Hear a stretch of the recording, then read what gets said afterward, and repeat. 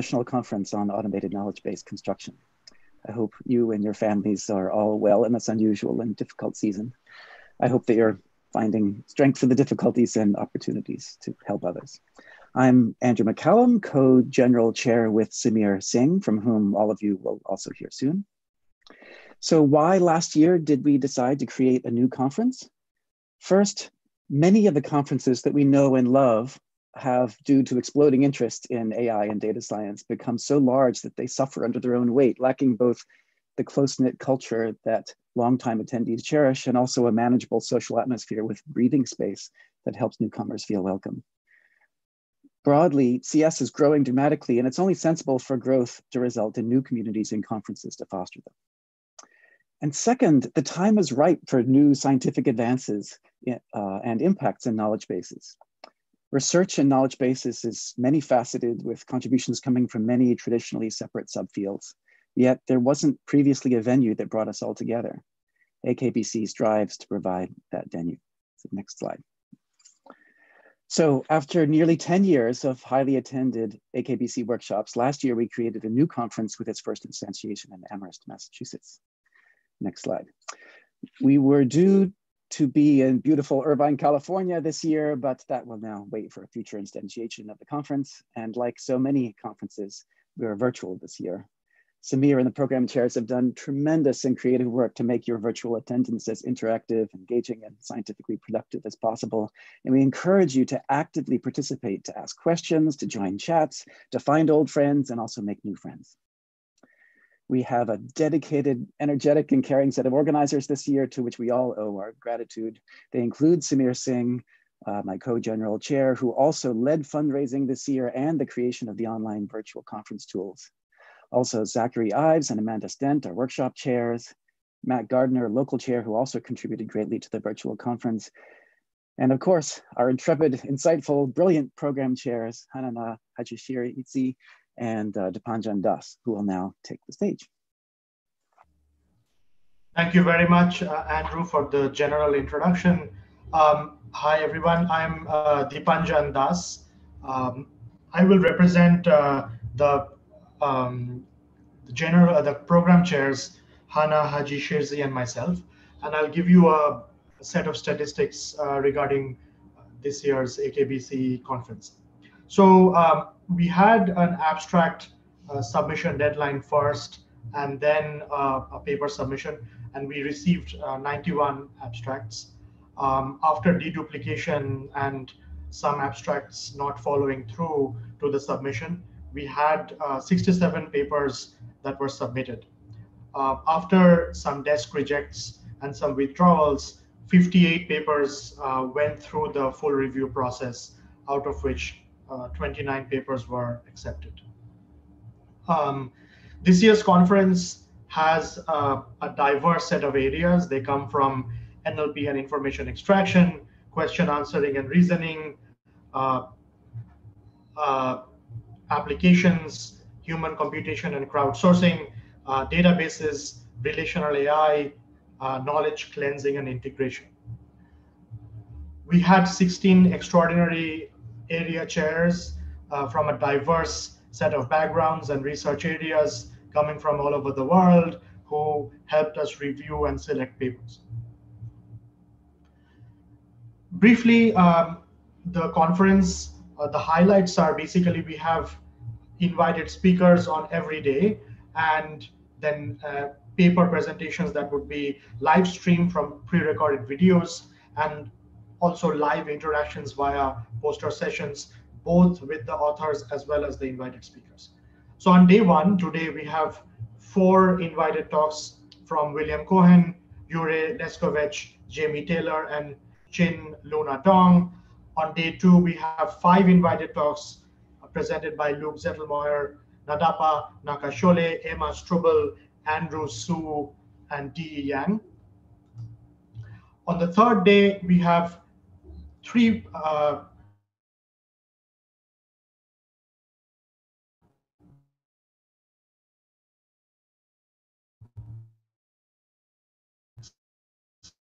excuse me, uh, uh four presentations.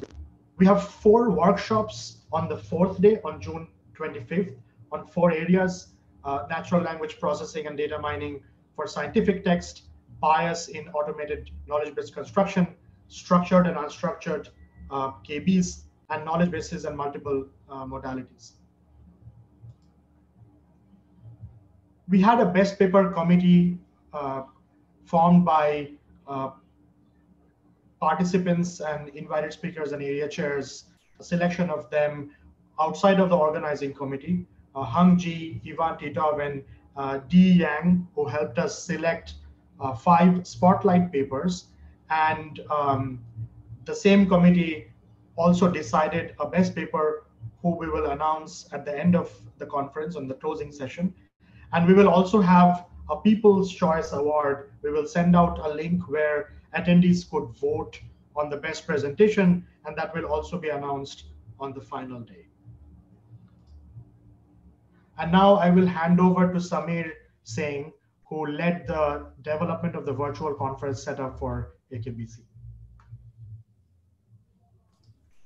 All right, uh, welcome everyone. Um, so I'm going to talk a little bit about, uh, yeah, I'm going to talk a little bit about what how the conference is going to take place. Uh, essentially, we have three modes of interactions for you to interact with everyone else. Um, the first one is going to be the live video sessions. Um, where presumably you already are uh, by clicking on the live link on the website. Um, the second mode of interaction is going to be Zoom meetings, uh, and you should see these Zoom sort of pop-ups all over the website where if you directly click on the link, uh, you should be able to join without any need for login or anything. Uh, if there's any problem, do reach out to us. Um, and the last mode of interaction is chat rooms. Um, which is available on the website, or you can go to akbc.rocket.chat directly and log in there. Um, same credentials as the website. Um, there are lots of rooms there. Each paper has a room. There are general chat rooms where you should introduce yourself. Uh, we'll also be doing announcements um, from us, from the workshop organizers, things like that. Um, and then if you have any issues or questions, you should reach out to us um, using the channel hashtag helpdesk. So essentially the virtual conference is going to have three kinds of sessions. The first session is going to be live session, which is this one. It's going to include the opening session and the closing session along with the invited talks, which is the uh, the bread and butter of this conference. Um, I also want to say that the, we're also going to be streaming the paper talks, although these talks are available on the website in case you haven't missed, uh, if in case you haven't seen them, you can see them in the live session. And in the end, we'll also have the best paper award. So all of this is going to be live um, through, through this, this stream. Um, our second mode of sort of set of sessions are going to be the poster sessions. Uh, these are going to be Zoom meetings where you're going to be interacting with the authors of the papers. Uh, to some degree, we'll assume you've seen the talks, but if you haven't, you can always talk to the authors about it. If you have any questions, any issues, uh, this is the time to chat with them. Uh, each meeting is going to have maybe two papers per meeting on days two and three. Uh, our last kind of session is going to be the hallway chats at the end of each day. Um, this is also primarily relying on Zoom meetings where you will be able to speak with invited speakers, uh, meet with them in Zoom meetings in groups. Uh, we also have um, rooms set up for uh, meeting other people randomly. So if you just want to not talk to the invited speakers and just hang out with other attendees, you can go there. Uh, and finally, we're going to have virtual booths set up for all of our sponsors. Uh, and you can go to them, ask them about their company, ask them about their uh, job opportunities and in this economic environment, it might be good to get a head start on that. Um, and so what I want to point out here is something like invited talks actually spreads multiple sessions. You're going to have, uh, you're going to be watching them live. Their pre-recorded videos are not available. And then you're going to be chatting with them during hallway chats. Uh, focusing a little bit more on the papers, uh, you'll notice that on the website, each paper has a web page. Um, which has the pre-recorded videos and slides. And so if you're specifically interested in a few papers, you should do that already. Um, we have links to the whole PDF, the reviews, the discussion non-open review, and all of that on there as well. Uh, we also have embedded chat um, for that specifically for that paper, where you can ask them questions or talk to other people who have questions about the paper. And then we'll have direct links to Zoom as well. Um, so again, there are going to be three modes of interactions even for a paper. in the chat room. You can ask questions, have other discussions with them. Uh, you'll you'll see the live video stream of the pre-recorded talks during the lightning talk sessions. And finally, we have links to the Zoom meeting. So in, in the end, I want to, uh, yeah, we can, next slide, yeah. In the end, I really want to thank our sponsors, SAP, Microsoft, Relational AI, IBM, Google, PIMCO, and Oracle Labs. Um, these guys really came through. I think we were, uh, not only are they supporting this new conference, but the transition from a physical event to a virtual event is is tricky, especially when it comes to the logistics. And the, all these companies have been pretty supportive of what we threw at them. So um, I really encourage everyone to go to their virtual booths um, for the companies that are planning to have those uh, at the end of every day. Okay, um, so that's all we have in terms of the opening remarks. Uh, we're a little bit early, it seems like it. So um, maybe we should start with the invited talk a little early or wait for a few minutes? Let's wait for a few minutes. Uh, maybe we'll. Yeah, maybe let's start at 11, 18, and then we can hand it over. Okay, so, okay, we'll maybe start in five minutes then. Okay.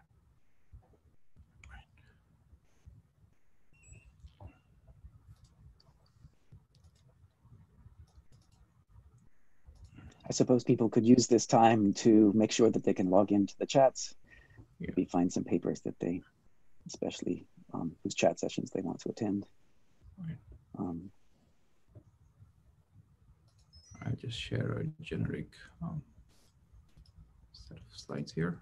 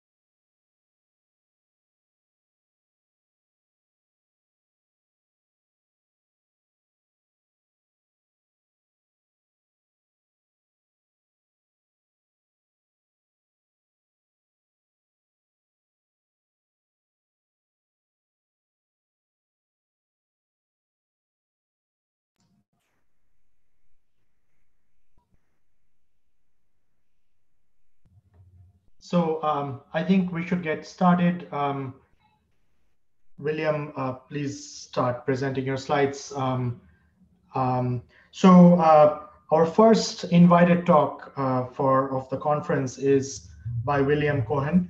Um, William, it's my pleasure to introduce him. Uh, he uh, is a principal scientist at Google and is based in Google's uh, Pittsburgh um, office. Before being at Google, William uh, was a professor at the machine learning department at Carnegie Mellon University. He has had an illustrious career uh, in machine learning. He was the president of the International Machine Learning Society, uh, he served as an editor of various publications, including um, Morgan and Claypool, a series of machine learning books, the journal Machine Learning, the journal Artificial Intelligence, JMLR, Journal of Artificial Intelligence Research, and, and so forth. He has been uh, a general chair uh, and the program co-chair of the ICML conference several times. He was the co-chair of uh, one of the first editions of the AAAI conference on weblogs and social media. Uh, he's the winner of Test of Time awards at both SIGMOD and SIGIR. He's a AAAI fellow. It's our pleasure to have him uh, speak uh, at AKBC. William, please uh, take it away. Thank you so much, Dipanjan, um, for the introduction. Um, I hope everybody can hear me. There's like not a whole lot of feedback with these uh, Zoom presentations, um, but uh, we'll try and do our best. I'd like to thank the organizers for inviting me here. Uh, it's great to be with all of you. Um, and let's go ahead and, and get started with the work that I've been doing, and I should say with many colleagues, uh, primarily at Google, a few at CMU. Um, so um, here's sort of the outline. Uh, what I'm going to be talking about today is basically neural versions of an old AI chestnut, which is you know languages that are designed for querying a knowledge base. So this is something that people have been looking at AI from the very beginning. And we're talking about doing this in a neural way. In particular, I'm going to talk about a couple of different query languages. Um, one called NQL for neural query language and a more recent one. Um, uh, and um, once I've talked about those, I'll talk a little bit uh, kind of going forward. Um, this is some very recent work on uh, taking these query languages and embedding them inside a large neural language model. So that's basically the plan for the talk. And I'm going to start out by just talking about why I'm working on this problem. Why do you want to neuralize a knowledge-based query language? What's the motivation for that? Um, so um, let's look first at a problem that probably most of you guys are familiar with, um, knowledge base completion, okay? So knowledge base completion, you've got some two, true triples, which are, you know, um, suggested by this uh, knowledge base in the upper right-hand corner.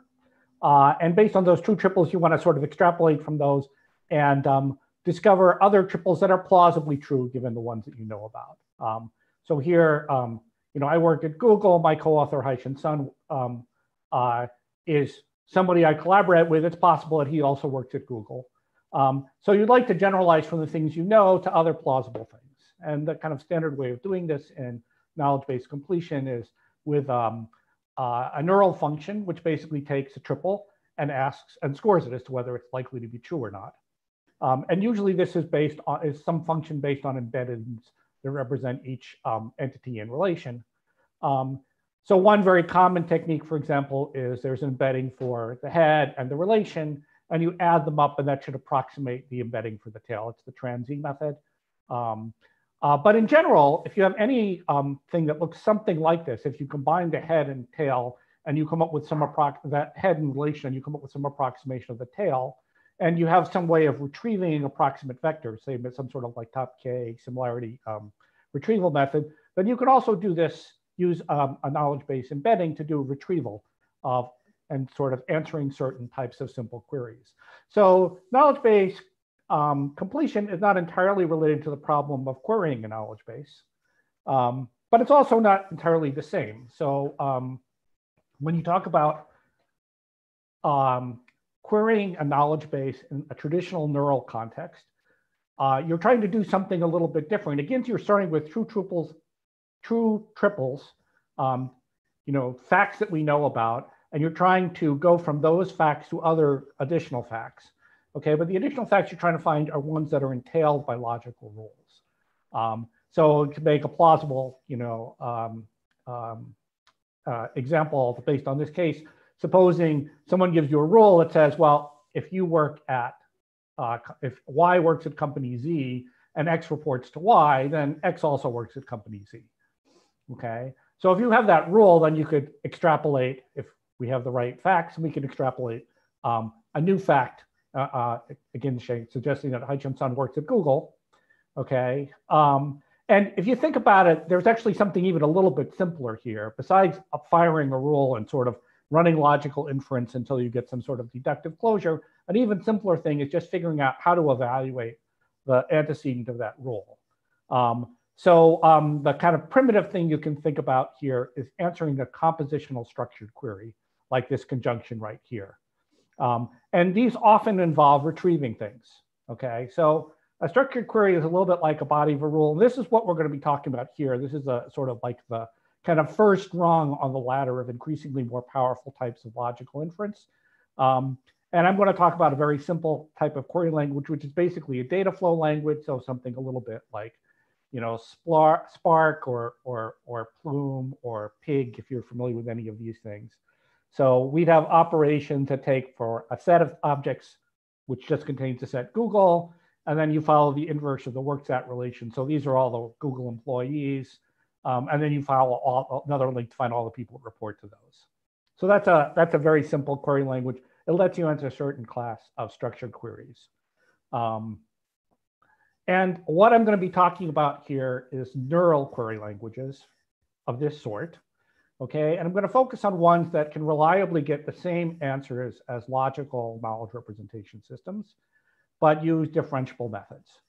Uh, so we're really looking at uh, solving the problem suggested by this blue rectangle over here. Um, so we're looking at logical inference, not generalization in a KBC sort of case. Now, combining these two things and looking at things what you do structured queries and generalize is actually a very interesting task. I'll say a few words about it in this talk. Um, from the abstract, I believe that uh, the very next invited talk uh, from Jure is going to talk about this in more detail. I'm very excited to hear about that. Um, but here, again, I'm focusing on basically logical entailment, not um, generalization. So why do you want to do this? Here's a simple um, kind of motivating problem, uh, and that is the problem of knowledge-based question answering. So a knowledge-based question answering, you start with a natural language question, uh, like the one here.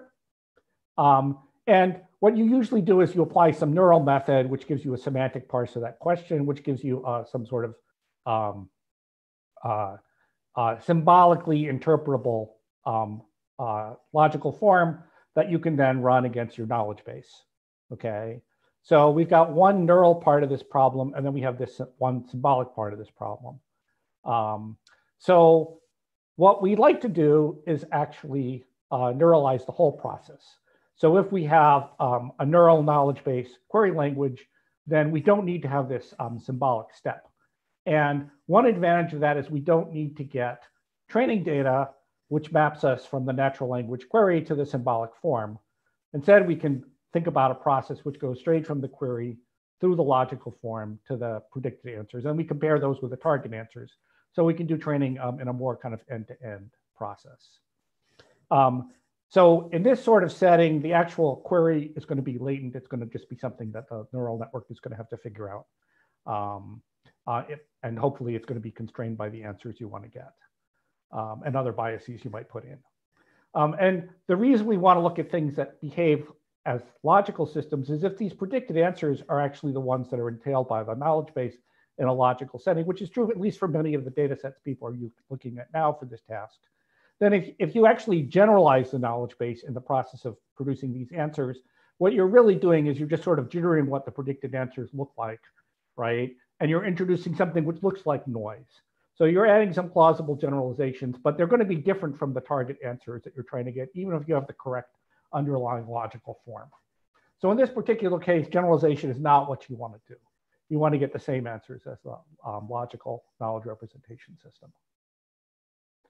Okay, So uh, that's the motivation. Now let's look at uh, sort of uh, a first example of what one of these neural query languages might look like. Um, so this is some work that was uh, published um, in the most recent ICLR, ICLR 2020. So this was this was done last year. Um, and uh, I'll start out with just some very concrete examples. Um, so this is a very kind of low level description, but you know, in, you set up um, an object called a, a context, and then that object has got a bunch of functions that hang off it that let you declare the schema of the knowledge base, load in data, and uh, you know, declare types and things like that. Um, then you can construct sets. So the simplest thing is just to construct a singleton set that just has one element. So this string here is basically an ID for this particular uh, entity. It has type person, and we're just going to create a, a singleton set here uh, called Henry VIII, which you know corresponds to the King of England, uh, Henry VIII, who famously had six wives. And if I apply this dot wife function, where wife is a relation, then I'm basically sort of going to follow that relation through and find the set of all entities that are wives of Henry VIII. So all these expressions evaluate the sets, and in fact, they evaluate to weighted sets. So there's a number associated with every set. So here will just be 1.0. Um, and uh, we can compose these things. So we've got set operations like uh, this is a union and intersection. Um, so we can say, let's take the sons or daughters of Henry VIII. So that's all his children. And then we can take the sons of that set. Um, so that would be the grandsons of Henry VIII. Um, and um, there's also a little bit of second order logical reasoning, okay? So um, you can also have a variable, which is a relation, and then we have the special um, construct here, follow. So um, we can follow a variable relation. And in fact, that relation R1 and R2 is a set of relations. So it's just another set. Relations are essentially entities of a special type in this framework. Okay. So if I wanted to get grandsons, I would let R1 be son, union, daughter, or that doubleton set. Okay. And I would let R2 be son. And then I get exactly the same semantics as, as this example right here. Um, and one thing that's interesting about this is that's also something that can be produced um, in some other way, right? So rather than have, being a hard set, it could be a weighted set. You could have, you know, some very approximate weights, maybe even ones that are produced by a neural function. You know, the semantics of this are all defined. Um, so uh, uh, that gives us a possibility of uh, uh learning these uh, parameters of the query. So the semantics for NQL are very simple. Uh, so um, every set is basically just stored as a k-hot vector. So um, uh, if you've got a million entities, that vector is a million components long. Um, and the weight for each you know, entity component is its, um, its weight in that set. Uh, so these context.one just gives you a one hot vector. Uh, follow is um, uh, multiplying this vector by the adjacency matrix for the relation. So this is a very large, very sparse matrix. Okay, so we have to use um, sparse matrix technology to make this work. Um, follow a relation R basically is a mixture of these things. So you're just like sort of looking at a weighted mixture of these matrix multiplications. Um, and you know, k-hot vectors have nice properties um, if you want to do unions and, uh, and intersections. Um, so the implementation doesn't quite follow this statement of the semantics. Um, it's actually implemented with just three large sparse matrices. It's relatively compact. Um, you can actually scale this to tens of millions of triples um, on a handful of GPUs. Um, it does distribute. Um, uh, it scales very well with the number of relations, so it's fine if you have thousands or tens of thousands of relations. Um, so uh, you can do not inconsiderable knowledge-based processing in this framework. Um, and let's again kind of drill in a little bit. So this is what the NQL syntax roughly would be for this. Actually, this, you know, minus one is is is is uh, is uh, is not uh, expressed exactly the same way, but this is roughly the NQL syntax. Um, so in order to implement a system that would do this kind of query answering, what we would do is we get some training data for the target answers, okay? And we define some sort of template that describes what the structured query is gonna look like, all right? So the template's going to be given, and we're going to fill in the slots of the template, and those will all be neural functions. So we have some neural function which takes, you know, some representation of the textual question, extracts. In this case, we have basically an intersection of two follow operations. Um, so we're going to um, uh, basically derive the parameters for those, okay, evaluate them, get a predictive answers, and and train through. And when we're training here, the um, semantics of the query language are basically the fact that it's differentiable is what lets us take these target answers, take that loss, and push it through the neural query language, right? And train this part right here, which is really the interesting part. This is the natural language understanding part. Okay. Um, so if we have a slightly more complicated setting, so maybe we don't know exactly what the format of our questions are going to be, we might have to construct multiple templates. That's okay. In the simplest case, you can just take a new template and sort of add a union of that with the old template. Um, in a more complicated case, you might want to have some sort of neural function that sort of switches between those appropriately. You can even do something a little bit more complicated. So um, uh, in the ICLR paper, there's a discussion of how to use an encoder decoder approach that would let you produce some very large number of NQL expressions rather than sort of like just a simple template. Um, uh, so how does this work? So here's some numbers. Uh, so one of the most widely used data sets for knowledge-based question answering is something called Web Questions SP for semantic parsing. Um, it's over an old branch of Freebase. We're actually running over a subset of that, which has enough triples to answer all these questions. So it's about 40 million triples, about 12, 13 million entities. There are only 700 relations, uh, but it's a decent sized knowledge base. Uh, there's a relatively small number of questions. Um, every question in the data set we have is associated with a set of entities that appear in that question. So in our uh, template, we don't have to worry about filling that in. We basically just need to fill in the relations. And all the questions are one or two hop questions through the knowledge base. So we essentially learned three relations, one that we're using for one hop questions and two we're using for these two hop questions. And this is the whole model that we need to use expressed in this NQL syntax. Well, almost the whole model. The loss is softmax cross entropy of this output. And um, we of course have to define what these functions are. In the experiments I'm gonna talk about, this is the simplest thing you can imagine. So this is basically, you know, uh, a mean pool bag of word encoding and then a linear projection on top of that. So the, uh, the functions that produce these relations are extremely simple. Okay. So uh, here's how this works for WebQSP, and I'm comparing it here to a, a key value memory baseline. Um, uh, and um, uh, it works fairly well. One thing that's pretty nice, here's another set of questions. These are all one and two hop questions. So on average, they're not very many hops. Um, uh, this is another KBQA data set where there um, are one hop, two hop, and three hop questions. So these are nothing but two hop questions. And we can see performance drops off fairly um, slowly as the complexity of the inferences gets larger. Here's yet another task. Um, uh, so um, knowledge-based question answering is very similar to a certain approach to knowledge-based completion. So um, in knowledge-based question answering, there's a query which depends directly on the question. Um, in KB uh, in completion, you typically have a head, uh, a, head entity and a relation uh, name. Uh, and the query depends on that. So you'll have many examples that go with the same head relation pair. So you'll have what many examples. So the, the, um, the, the structure of the um, conditional control of this latent query is a little bit different. But essentially, it's the same idea. You construct this latent query based on other relations, and um, then you predict answers and get the loss.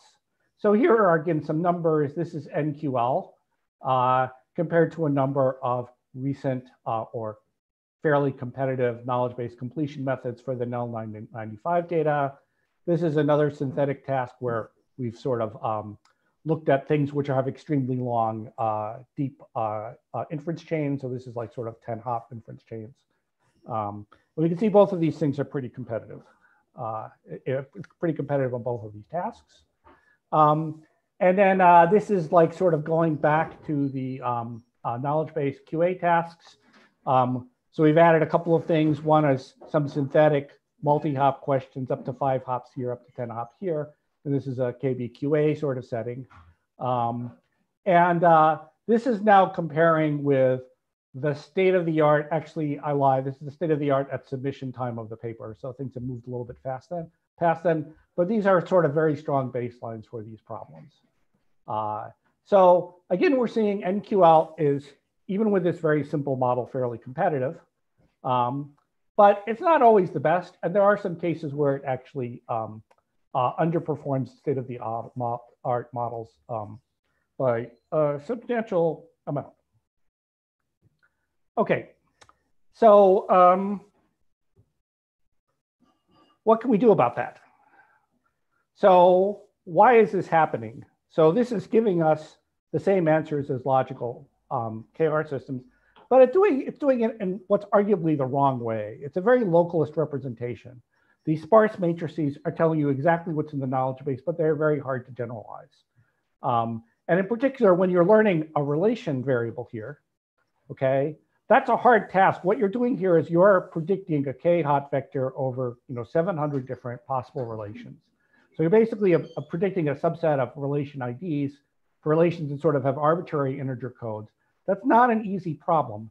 And posing the problem that way ignores really a lot of the um, most interesting work in you know neural representation learning you know that's happened over the last you know 15 20 years.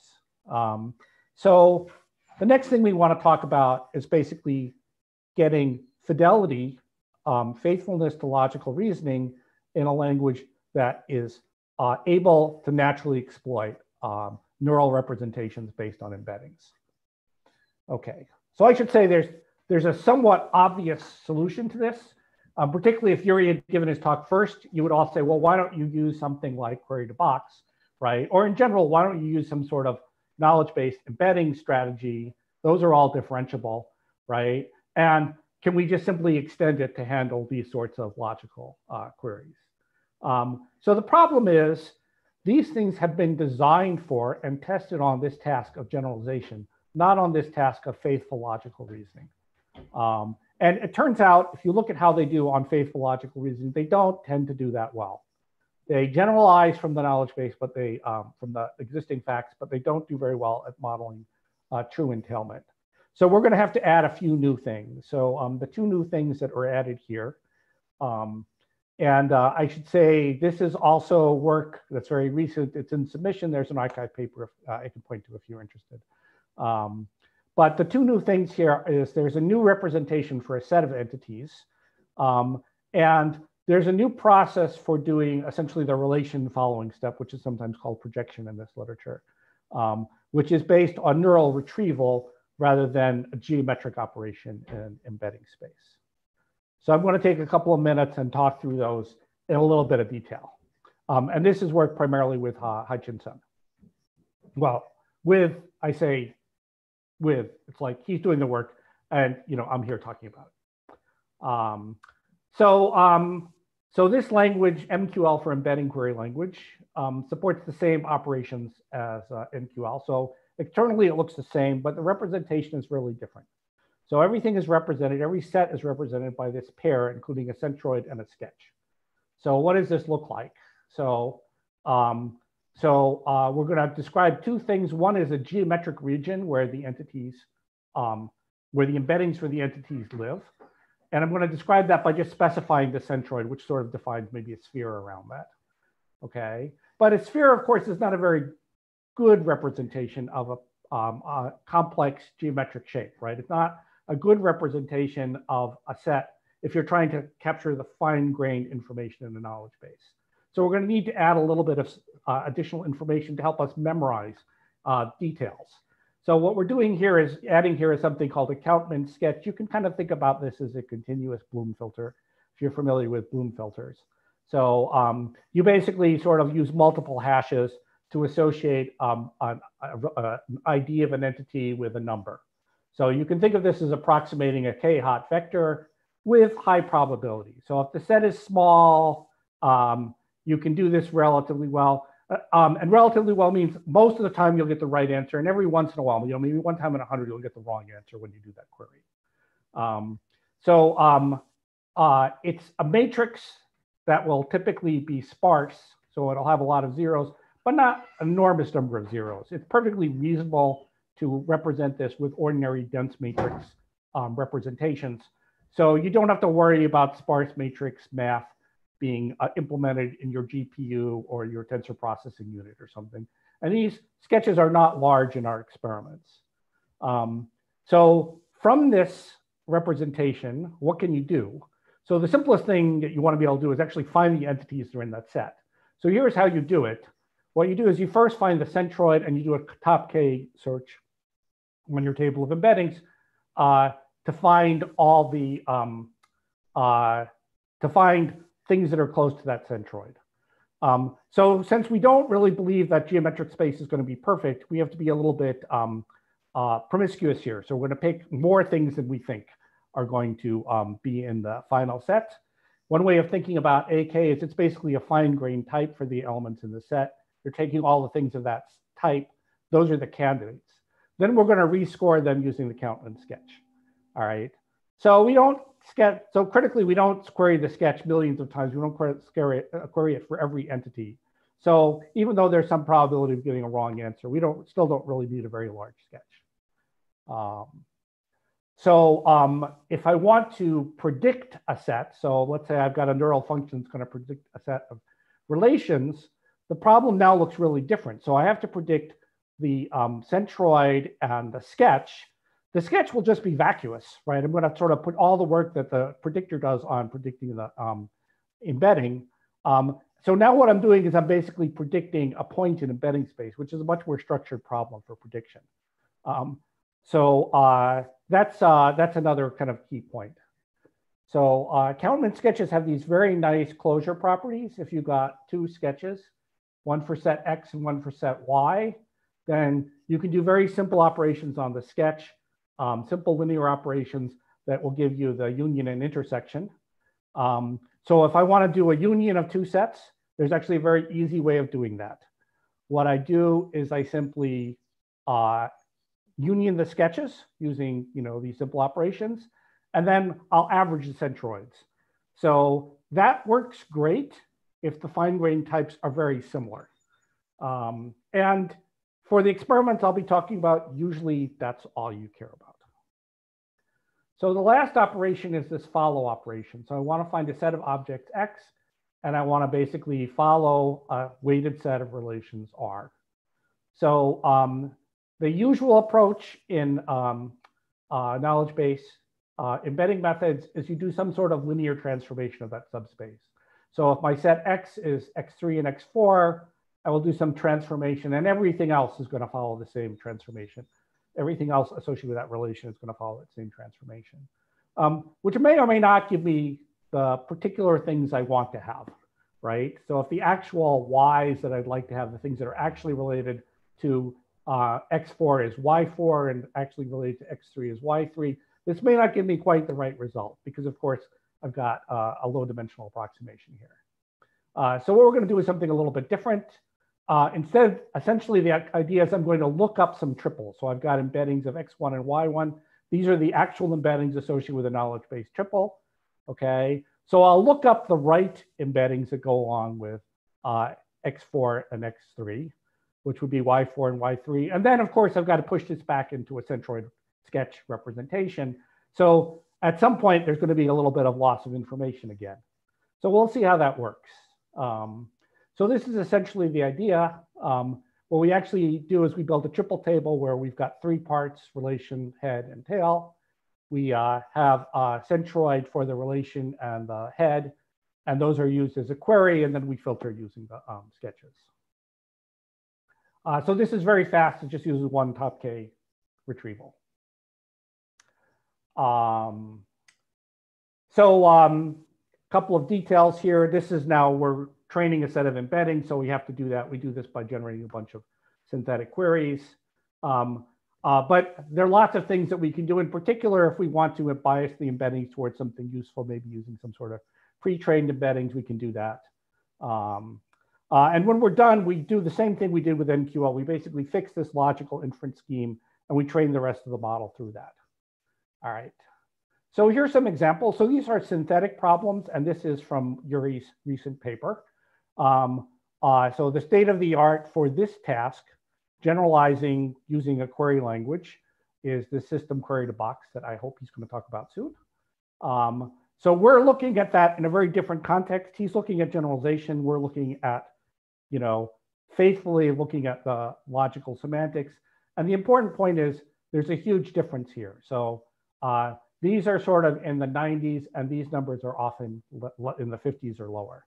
And both things contribute. So EmQL minus is using the retrieval, but not the sketch. Okay, and we can see that does improve performance a lot, but it doesn't get you sort of all the way there. Um, and then finally, I'm going to look at this in the knowledge base QA task. Um, so uh, here's uh, these two kind of standard problems. Uh, this, the three hop movie questions, uh, meta QA. This is the um, web questions SP. Okay. Um, and uh, we're getting uh, better than the state of the art in one case, much closer to the state of art in the other. I got it. Um, and um, finally, uh, here's um, a little bit of an ablation study. So um, we actually didn't cover all the cases in that two line model. There's one more rare case. If we actually add that to the NQL model, then um, we uh, do get improvements over the state of the art. Um, and then this is again a ablation study where we disable the sketches. Uh, William, just a reminder, uh, we have two minutes left. Thanks. Uh, two minutes before I take questions? Yes, and we have a couple of questions. Uh, okay, ready.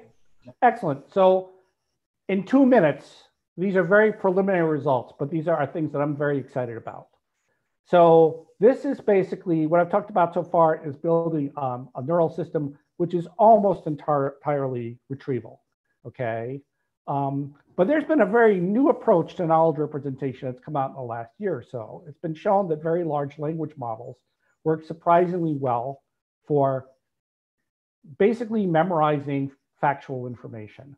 So they work pretty well for um, answering closed questions. Uh, open book QA is sometimes called. Um, so if you ask a question, Charles Darwin wrote blank and ask um, Bert to fill in the blank, you'll get something which is right more often than you think. Now, of course, these also have problems. They're not interpretable, and to update knowledge to add something new, you have to do completely, completely retrain them. So um, we've been looking at inserting this sort of neural knowledge representation into a large language model. So we're starting with this system called entities as experts, which I obviously don't have time to talk about too much, but essentially it's got a component which does entity linking and it has um, an entity memory. So every entity in its entity vocabulary will be associated with an internal representation, much like a word embedding. Um, and it works pretty well. So this is uh, its performance on a data set called Trivia QA relative to um, uh, T5, which is a language model that's many, many times larger. Um, so it does quite well on these sorts of factual questions. So the other nice thing about it is there's an easy way of taking this sort of model and extending it. So what we've done is essentially added another type of memory, which is a triple memory. So the transformer can construct a query to this triple memory, which uses the same entity representations for um, the head and tail as the entity representation. All right, so we're essentially adding something like a follow operation. So uh, this gives you an opportunity to inject new knowledge into the language model. So instead of retraining, you can just add some facts to the triple memory. And this is work um, with Pat Verga. And this is very new, but there are some exciting results. Um, I'm going to focus on this one right here. This is another knowledge-based question answering system. And what we've done is very carefully constructed a data set where there are trivia questions that have entity answers, all right? And all the information about the facts you need to answer those has been held out, right? So um, the process is you do some language model training, you do some fine tuning on this data set. Um, and um, we've uh, ablated the, uh, the data, uh, the fine tuning data and the um, pre-training data. So you don't have any information about um, pairs of entities that link a, uh, question entity and an answer entity in the test cases. Um, so this red line here is the old entities as expert system. When you go from this normal setting to the zero shot setting, it's broken, uh, badly broken. Uh, its performance drops a lot, um, but we can still get some interesting um, performance um, in this zero shot setting. So I'm going to stop here and take questions. There are a couple more slides, which are essentially summary slides, but I think it might be more interesting to take some questions from the audience. Uh, so I'm going to stop here. Um, and uh, yeah, uh, so thanks a lot, William, uh, for the great question, uh, for the great presentation. Um, so the first question we have here is, uh, you have done symbolic methods for KBC, knowledge-based construction, for example, PRA as well as new neural methods. Have we lost anything by moving to neural methods or do they strictly dominate? Ah, that's a great question. So do neural models strictly dominate over PRA? Um, uh, so, I mean, PRA is not uh, strictly symbolic, right? So in PRA, essentially what you're doing is you're, um, you're generating a bunch of paths which are weighted and um, you're combining them with a, um, a weighted classifier. Um, so um, I guess the real question is whether those learning techniques do better or worse than current neural methods. So there haven't actually been a lot of comparisons of Ni Lao's old PRA system directly to kind of the more recent um, neural methods. Um, there are probably a chain of comparisons you could follow. Um, so you can get a lot of the power of PRA using a neural approach where essentially what you're doing is using a neural controller um, to uh, select online the paths. Um, and my guess is those techniques do dominate. They sort of have all the information that PRA has. One thing that they don't dominate with, which I think this talk is sort of trying to get back to a little bit, is um, interpretability, right? So if you have a neural method which is sort of doing a lot of attention over many different things. And those things may not even have sort of a concrete symbolic meaning, then it's very hard to figure out what they're doing. Um, so I think trying to get back to cases where you can interpret what's happening, um, where you can sort of like debug, where you can control what's happening is a, is a very important goal uh, going forward. Makes sense. Uh, thanks a lot, William. Unfortunately, we are out of time, but there will be a hallway chat session in the evening with all the invited speakers. So please join. I, there are two more questions, so I will forward those to William. And if you're interested, please join at the end of the day. I will now uh, pass it on to Hannah, who will introduce our next invited speaker.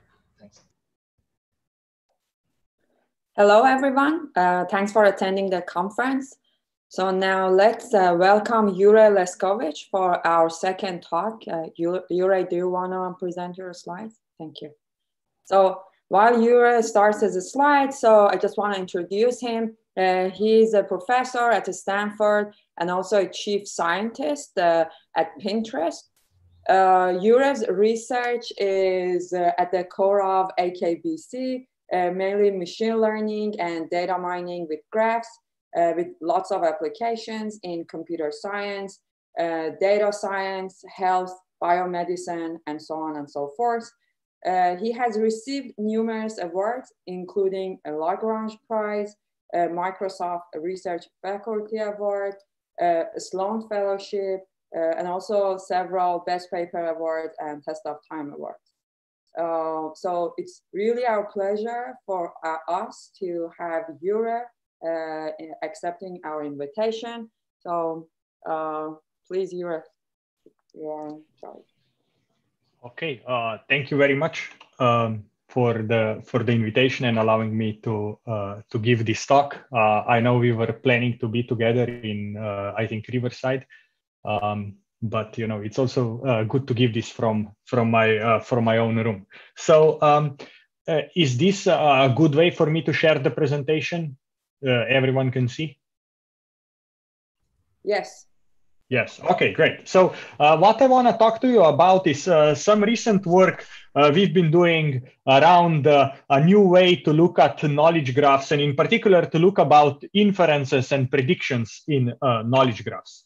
Um, so this will be really about kind of reasoning and doing complex uh, logical queries inside knowledge graphs, but using latest tools from um, representation learning, embeddings, and so on.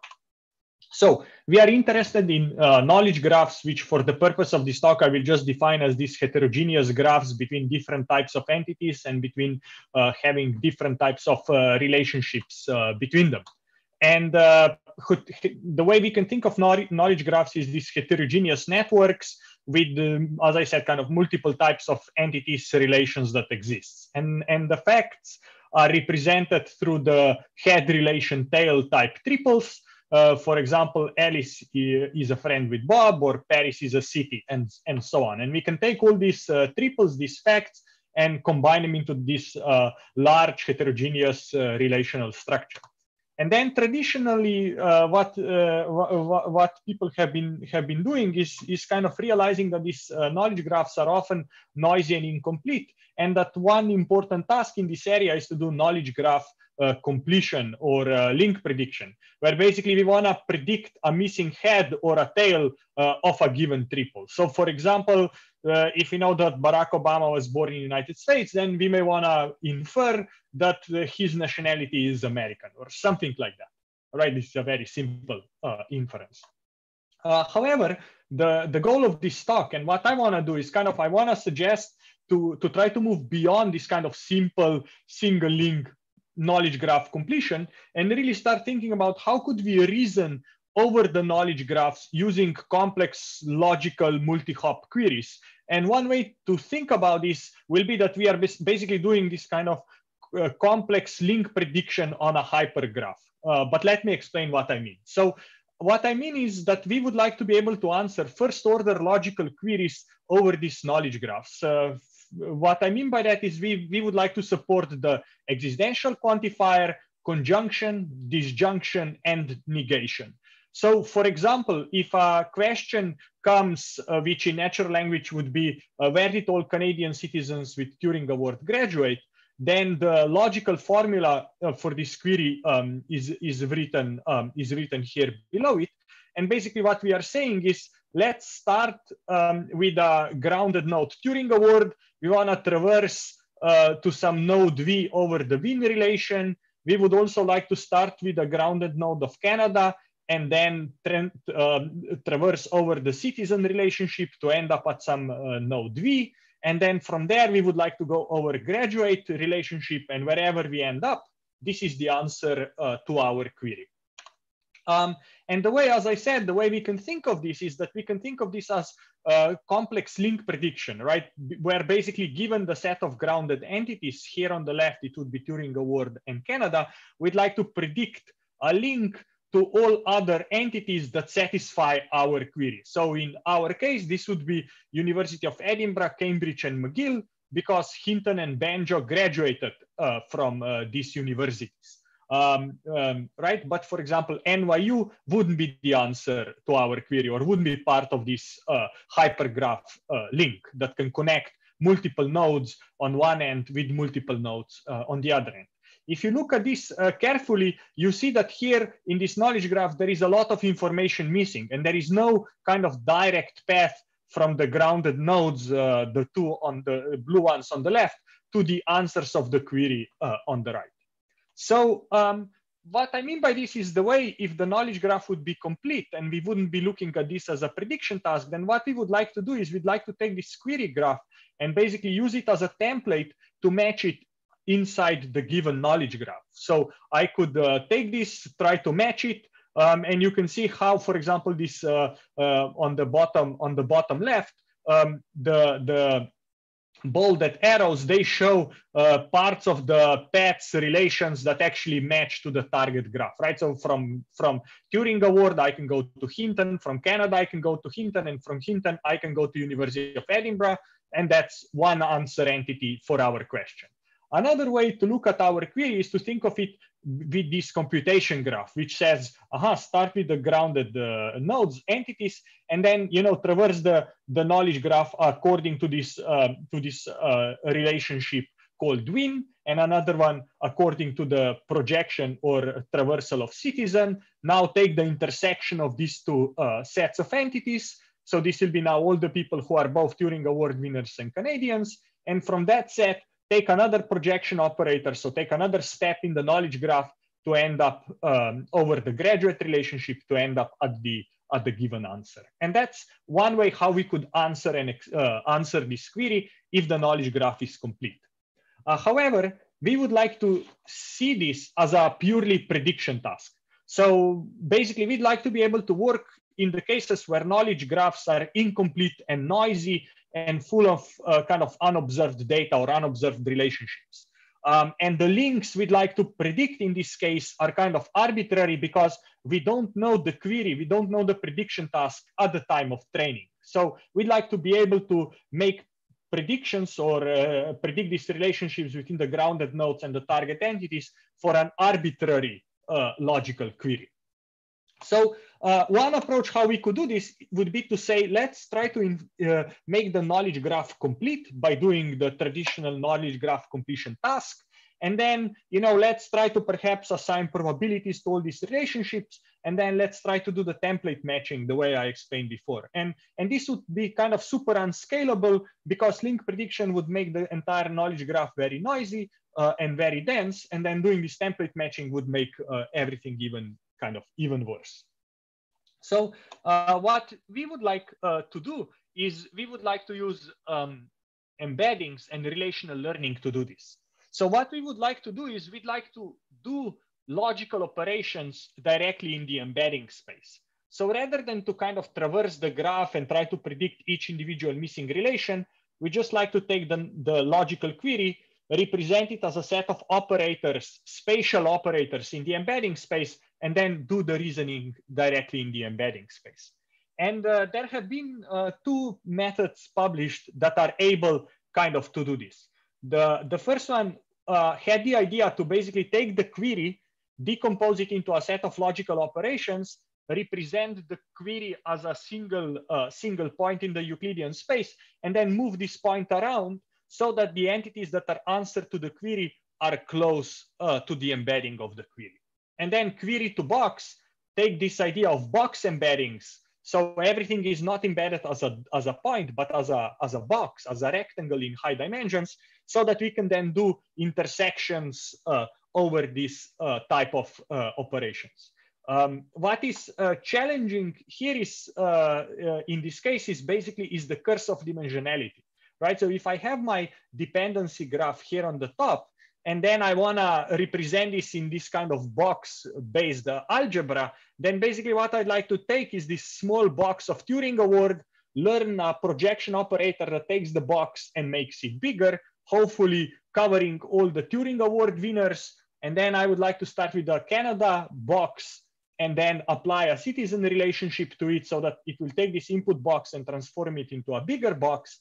I can then take the intersection of these two boxes to find Canadians and Turing Award winners, and now do another kind of transformation of the box that will hopefully cover all the entities that are uh, the answer to this uh, question.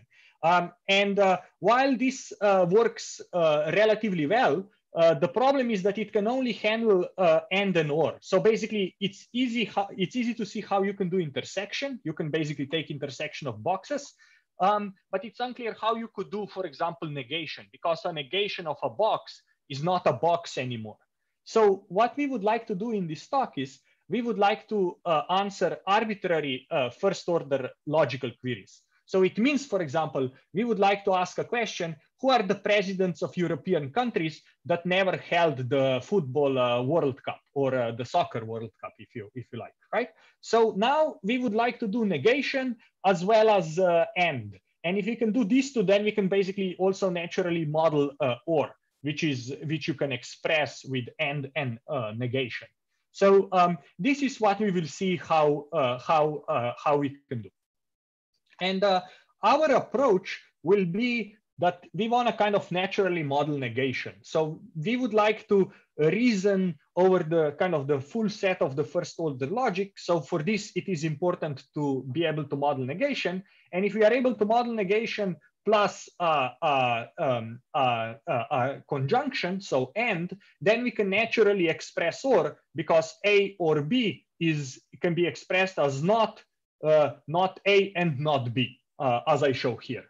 Um, and again, as I said, if you would uh, want to embed things as boxes, then the problem is that the negation of the box. So basically everything outside the box is not a box anymore. And your representation uh, of this query basically gets can get arbitrarily complex. And then it's unclear how, uh, how to do that. So uh, our idea is that we would like to embed arbitrary first order uh, logical queries in the embedding space and then do logical operators over this embedding space. Um, and one important uh, characteristic or property for us is that these neural logical operators need to be closed. What we mean by that is that the representation complexity must not increase as the, as the query gets bigger or more complex right? So basically, we'd like to keep representational complexity fixed, whilst, while these logical operators can be arbitrarily combined uh, and can remain fixed size regardless of how complex is the query. So that's one thing. Another thing that we'd like to do is we'd like to naturally capture uncertainty uh, of the queries or of the answers uh, to the query. Um, and the last thing we'd like to do is we'd like to be able to reason kind of in this embedding space jointly in a sense that both entities as well as queries uh, that are kind of arbitrary will both be embedded in, in this same um, embedding space. Um, and our insight is to embed everything, to embed entities as well as queries as distributions. And we are going to embed them as beta distributions. Um, and the reason we want to use beta distributions is because they have a fixed domain. They are they're only defined on an interval zero, one. And the beta density, as I will show you, is also a very flexible density. So we kind of have a way to approximate uh, negation, right? So we, we want to embed entities as, as well as queries as distributions um, or uh, in this uh, high dimensional embedding space. Um, we would then like to define logical operators that will take beta distributions and transform them. Uh, we want to, in particular, um, support and and uh, negation, so not, uh, so that then we can also naturally model. Or um, we will then also be able to handle uncertainty of queries because we are modeling everything with distributions. So we can measure, for example, entropy and things like that to, to, to model uncertainty. Um, and then once we have embedded the query, uh, all we need to do is to check what other entities are nearby, and uh, those will be the answers uh, to our query. Um, so that's generally the idea. Now let me kind of walk you through how we do this. So as I said, is we are going to use these probabilistic embeddings that will be basically um, beta distributions where along each dimension in the embedding space, we will have an independent beta distribution. So kind of we have independent distributions along the dimensions uh, of the embedding space. Uh, each beta distribution is defined by two parameters, alpha and beta the support of the beta distribution is, is on the zero one interval and the beta distribution is very flexible. So here at the bottom, I give you uh, four different uh, shapes just as examples that the beta distribution can take. Um, and you can see this is kind of very, uh, very flexible. Um, so now as a, as a running example, I wanna be able to answer this query about who are presidents of European countries that have never uh, hosted a, a World Cup. And I show you the computation graph here in the middle. And now what we need to do to be able to, um, the, uh, to answer this query is to, we need to be able to define this probabilistic projection operator that basically will take one beta distribution and transform it such that whatever are the entities uh, on the left after the transformation will get will get some new distribution over the entities that will correspond to basically traversing a relationship of a given type in the underlying knowledge graph. Then I want to define a probabilistic or neural intersection operator that will basically take two distributions and do an intersection over them. So basically we will have two sets of entities, two fuzzy sets of entities, and we want to do an intersection. And then we'll also want to do a negation, which will be given a fuzzy, fuzzy set of entities. We want to take a not uh, or a complement of that set. So the way we are going to do this projection operator is that for every relation type in our knowledge graph, we are basically going to learn how to transform uh, this multivariate beta distribution um, into a new uh, uh, uh beta distribution. And one way to think of this is that this is basically a, a traversal from one fuzzy set to another, another fuzzy set according to a given uh, relation type. And this would just mean that we'll take the density and learn a neural network that will basically transform the parameter values to some new parameter values of the beta distribution. And this way we'll transform the density or the distribution in our embedding space. Um, for the intersection operator, basically the idea is that we want to take multiple beta distributions and do an intersection over them. And uh, the way we are going to do this is very natural. We are going to take a weighted product of the PDFs of the input beta distributions, right? So if I have two beta distributions on the left and I want to do an AND between them, then I would get the, the distribution uh, that is uh, that is on the uh, on the right. And uh, what is uh, interesting here is that first, the product of beta distributions is still a beta distribution. So this operation is closed uh, it's uh, commutative. So intersection of uh, distributions Q1 and Q2 is the same as intersection of um, uh, distributions Q2 and Q1. Uh, it is self-consistent, meaning that intersection with yourself, uh, it um, gives you an identity, so it doesn't change the distribution, and has this what, what, what is called a zero force uh, type behavior where uh, if I have high probability in, in one distribution and high probability in the other distribution, the resulting the result will be also high probability. But if I'm having high and low, then the probability will be low. And, or if I have low, low, it will be uh, low again. And this is what I try to illustrate here, where uh, again, we have the red distribution, we have the blue distribution, and the product of the two distribution is green. And you can see how um, it is high where both distributions take the high value and it is it is kind of low uh, where uh, they both take or one of them takes uh, a low value. So this is how to define a, intersection operator. So how can you do a negation?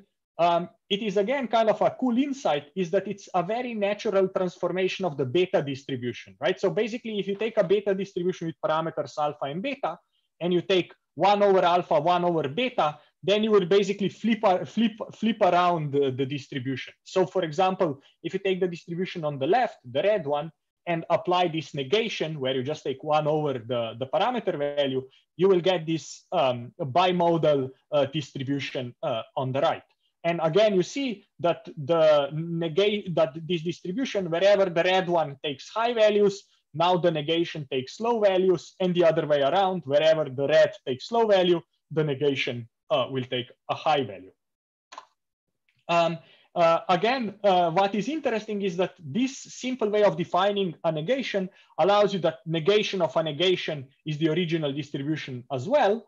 Um, so, so, so basically, you also get some um, logical rules or uh, laws of uh, first order logic uh, for free um, if you do it this way.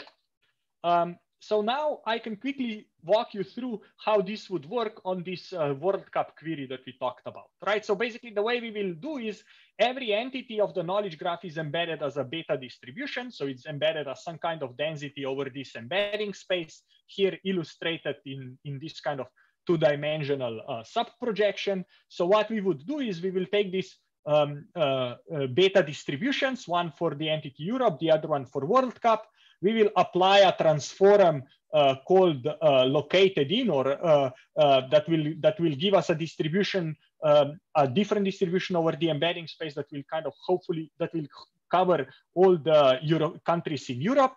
Um, we want to then do the same thing for the World Cup that will transform this and give us a distribution over the countries that have held uh, the World Cup. Now we need to apply the negation operator over this. So we'll kind of flip the parameters around the way we discussed and the distribution will, will flip around.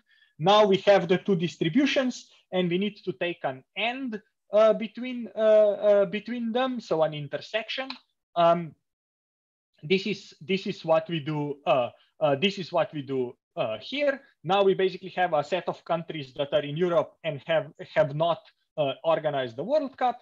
Um, and uh, now we need to, to do another traversal kind of in the knowledge graph along the president uh, uh, um, uh, relationship. So it will be another transformation of this uh, multivariate beta distribution. And now we have this distribution in the embedding space. So for example, we can now measure the distance between the embedding of the query here in the middle between the, and between, let's say, the embedding of the president of Portugal versus the president of France. And uh, we can measure, for example, some way of a distance in the embedding space. We are using the KL divergence.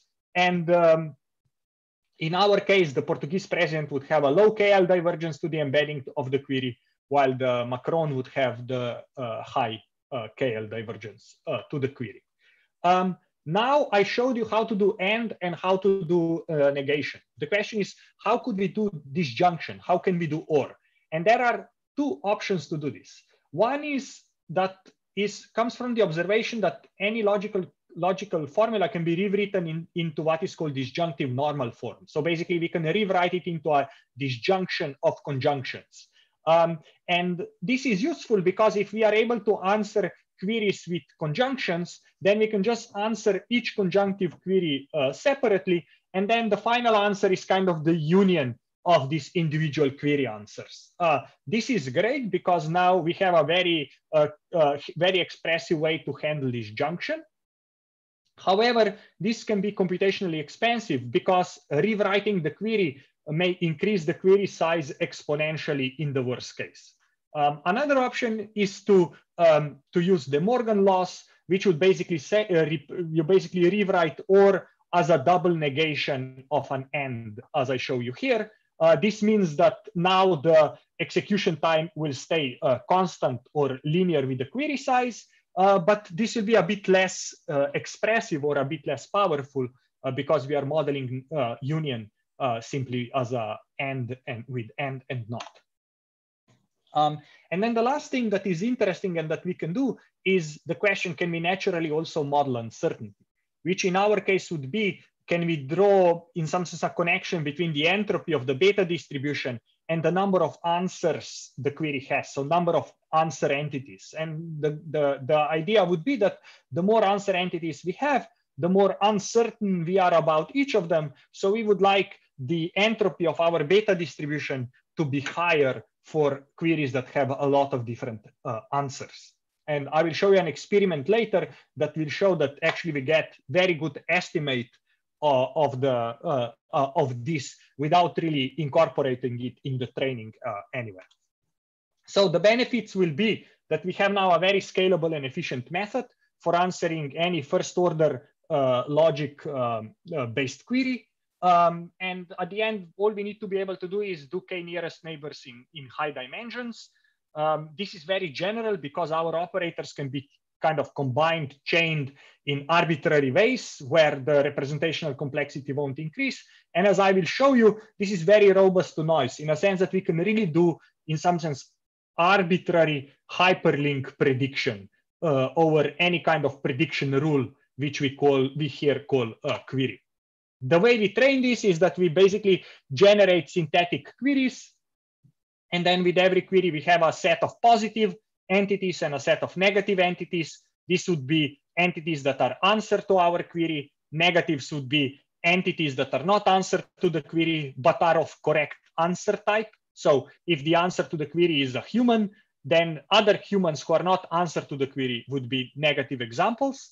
And then based on this, we can basically learn uh, our model, which means we need to learn the embeddings of all the entities as well as this projection, intersection, and negation uh, operators. Um, and that's basically it. Um, our uh, experimental setup is focused on the following questions. Does our method generalize to new unseen queries? Does it generalize to new unseen logical query structures? Um, and whether we can model uh, uncertainty. And uh, as I said, we will our um, our evaluation will be will basically be a link prediction evaluation. So we will train on an incomplete knowledge graph. Um, and then we will only test on the queries that are not answerable in the training graph. What I mean is that every uh, test query will have at least one edge missing. So we cannot simply traverse the query graph to answer the query, but we have to implicitly uh, input the missing edges in order to identify the answers. So we, we are really doing this kind of, um, in some sense, link prediction in a hypergraph. That's the best way to think of this. Uh, we are doing this over three different knowledge graphs, uh, Freebase 15K, 15K uh, 237, and then also on the NELL uh, uh, knowledge graph from uh, Carnegie Mellon University. We will have a set of training query structures, which you can see here. These are path queries, these are intersection queries, as well as queries that are kind of intersections, as well as negations. Um, and then we are also going to evaluate on queries or query structures that we never see during training. Notice that these are different logical structures that the method does not see uh, during training. Um, what we find is that our uh, method here called uh, beta E um, significantly outperforms uh, previous methods on conjunctive queries only. So these are queries uh, that don't contain negation because prior methods cannot uh, handle queries with negation. Um, so this is what we see uh, here on the left. These are the kind of training queries, or these are logical structures that are the same as in the training data, but of course, relations are different in the test set than they are in the training set. Uh, then we also evaluate on um, on uh, logical structures that the method has not seen uh, during training at all. Um, and we have two ways how to model union with the, De Morgan laws, this is DM, and the disjunctive norm, normal form. And you see how disjunctive normal form tends to perform, uh, perform better. Uh, on average, we get about 18, 15% improvement over uh, Query2Box um, in terms of uh, hits at once. So in terms of predicting uh, the link uh, between the starting entities and the target uh, answer entity, where there is at least one edge missing along the path of the query. We can also do things, yes. Sorry to interrupt you. So we have about two minutes before questions. Uh, don't we have five? Minutes, but uh, like 9.30 including questions. I see. I thought we started a bit late, but that's okay. I will finish. Um, so this is negation. Uh, it works great as well. Um, and we can also model uncertainty, as I said, where we can measure correlation between the uh, basically the entropy of the beta distribution and the number of answers uh, the query has. Uh, and we are getting much better modeling of uncertainty than uh, what previous methods are able to do. So uh, let me conclude. So what I presented is this notion of beta embed embeddings for answering logical queries or arbitrary logical queries in incomplete and noisy knowledge graphs. We can handle the, uh, the, uh, the, first order logic, so means uh, existential quantifier and or and negation. Um, we can generalize to unseen, ex, uh, unseen uh, uh, queries, novel logical structures, um, we can naturally model query uncertainty. Um, and uh, the future work is, is really about how can we further push this and see whether there are even better ideas how to model uncertainties, how to define logical operators uh, in the embedding space. And in the last one minute, I just want to say one more thing is that as uh, people who are working with machine learning on graphs, uh, we are realizing that we are lacking a diverse, challenging, and realistic benchmark data sets for uh, machine learning with graphs and knowledge graphs in, uh, in particular. So we have, we have developed a consortium and a working group called Open Graph Benchmark, where uh, our goal is to release, or we have already released a set of benchmarks for machine learning with graphs, with data sets, uh, uh, the code base to load, construct, and represent graphs, as well as performance metric evaluation so that model evaluation and comparison can be done very quickly and the research can, um, can proceed quickly. Uh, we have uh, different types of tasks at level of nodes, links, and graphs, different domains, including knowledge graphs and different sizes from small, which is basically what fits into a single GPU, uh, to medium and large that provide a bit more uh, challenges. If you are interested, please uh, check ogb.stanford.edu. Um, so with this, I'm done with my talk and uh, thank you very much. Thanks, Jure. Um, so uh, that was a great talk. So people are asking how to applaud. So we don't know how to applaud virtually. Uh, so we have a lot of questions. I tried to ask them according to the votes that each of them got. So first question, how do you translate the natural language question to first order logic form? Yes, uh, great question. Uh, that's not what we, I kind like our work starts uh, with the, um, sorry if I was not clear, but our work starts with the query graph given. So I kind of assume that the query graph is, be, is being given to us. I, I give it in the natural language because it's easier but basically the way our work starts is that we get this dependency graph and we start from there. Uh, sorry if that was not clear, but yeah, that's a great question. Second question, um, Andrew Sue asks, in the abstraction of entities from points to distributions, what are the implications for the size of the training set that is required? Uh, what? Aha, you are saying because now our uh, our um, um, our embeddings might be more kind of may require more parameters. It is actually like at the end, our embedding dimensionality is increasing by a factor of two, right? Rather than having one coordinate along each dimension, now we have an alpha and beta along each dimension. So the the blow up is is is not is not huge, and and we actually when we run comparisons, we give all methods the same amount of kind of free parameters. So the methods that are embedding into dots, into points, we give them twice the embedding dimensionality. So we don't get any explosion, so, so it, it is not an issue. Got it. Um, so one more question. Uh, the disjunction of two betas should be multimodal, but your use of De Morgan to capture disjunction doesn't result in a multimodal shape approximation regrets? Yes, so this is, I think, the, the yes, uh, that's a good point. What we are able to do is um, uh, we can basically, when we flip the beta, beta distribution around, we get from unimodal to bimodal. Um, it is, it would be interesting to see, like, and obviously we cannot model, like, we could not model along a single dimension uh, multiple modes that is a correct uh, that is a correct um, observation. And of course, I think then it becomes a good question: uh, at what complexity of the query will this approximation start to break down? Uh, uh, so, basically, I think the point is the following: there is a lot of impossibility theorems that one can prove around here. But if we try to be constructive and say what is possible and what kind of works well in practice, this is more what we were kind of guided towards. So I can ask the last question, which is how do we represent entity hierarchy? Like a car is a vehicle. Yes, that's good. So for uh, entity hierarchies, one, one idea is how you can represent this. It is very natural uh, to represent hierarchies in box with, uh, with boxes because you can make them kind of smaller um, and contained. You could also imagine that you could do something similar kind of with distributions where you take the, the more fine-grained concept and kind of put it below in some sense. Uh, another good, good uh, uh, way to capture hierarchies is, uh, is hyperbolic is hyperbolic space.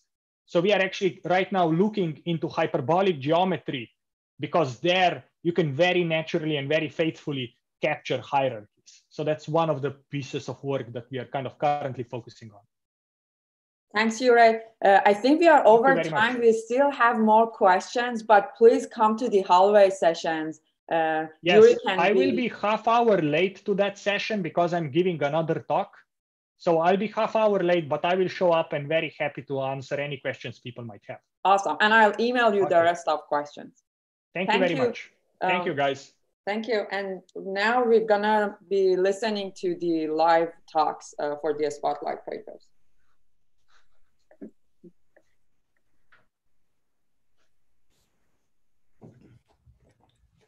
Yeah, so I'm going to share this video. I'm just going to play it. Uh, these are also on the paper pages, uh, but we'll have the five uh, spotlight talks. Uh, they're all about 10 minutes each, one after the other one.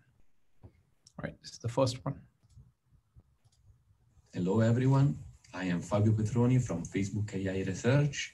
And in this talk, I will present how context affects language models' factual predictions, uh, a joint work between Facebook AI Research and NLP Lab at UCL. at EMNLP last year mm, in this paper, we show that language models are able to store and retrieve factual knowledge to some extent. And we created the LAMA probe to do this kind of analysis. That is a collection of cloze style questions with a single token answer. And here you can see an example. The theory of relativity was developed by mask. And we asked BERT to fill the mask. And in this particular case, it, it predicts Einstein. That is a correct prediction. But uh, storing factual knowledge in a fixed number of weights has clearly limitations. So for this other example, Giacomo Tedesco plays in mask position, but gets it wrong. Also as humans, uh, we don't always have the answer in our memory, in our parameters, but we uh, heavily rely on external knowledge, uh, for instance, from Wikipedia. So we can go in Wikipedia, uh, look at the Giacomo Tedesco Wikipedia page, and see that he is a midfielder. Uh, the idea of this paper is to integrate additional contextual information uh, into BERT in order to study its behavior. In particular, we consider four types of contexts, oracle, retrieved, generated, and adversarial. For all of our context, we use the one provided in LAMA that often contains the true answer. For retrieved context, we use the information retrieval system of Dr. QA to retrieve relevant information for the question. And as generated context, we use the generation of an autoregressive language model. And this allows us to test the performance of a solution completely based on knowledge inside the parameters of a neural model. And but note that the generation might not be uh, related to the question and also might not be factual. Finally, we test the performance of BERT against adversarial context by randomly sampling oracle context from different questions that has the same uh, relation. And note that the adversarial context always contains a distracting and semantically plausible answer. Let me show you some results. In this table, you can see the precision at one um, for BERT, that is the percentage of time it gets the answer correct for the Google RE, T-REx, and SQuAD datasets in LAMA. And when we consider Oracle context in input together with the question, we have a dramatic improvement in performance uh, for BERT on the LAMA probe. And this result shows the unsupervised machine reading capabilities of pre-trained language models that are able to copy the uh, answer from the context into the masked um, position.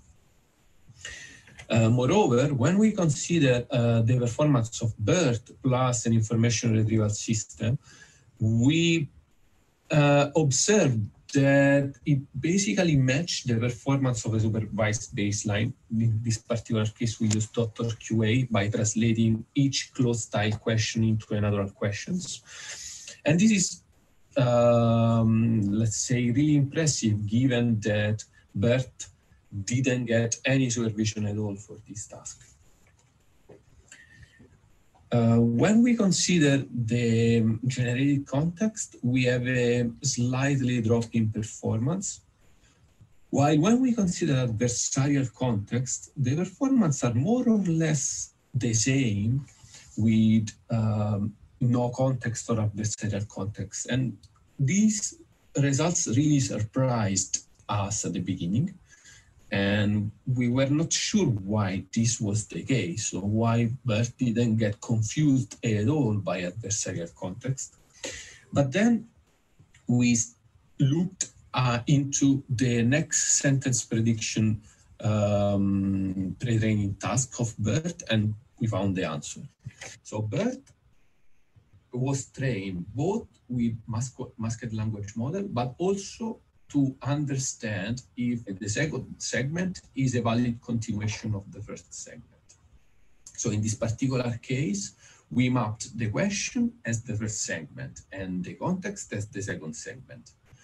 So we noticed that if the context is relevant, the next sentence prediction classifier uh, always outputs a one, and the BERT looks at the context in order to uh, do its prediction.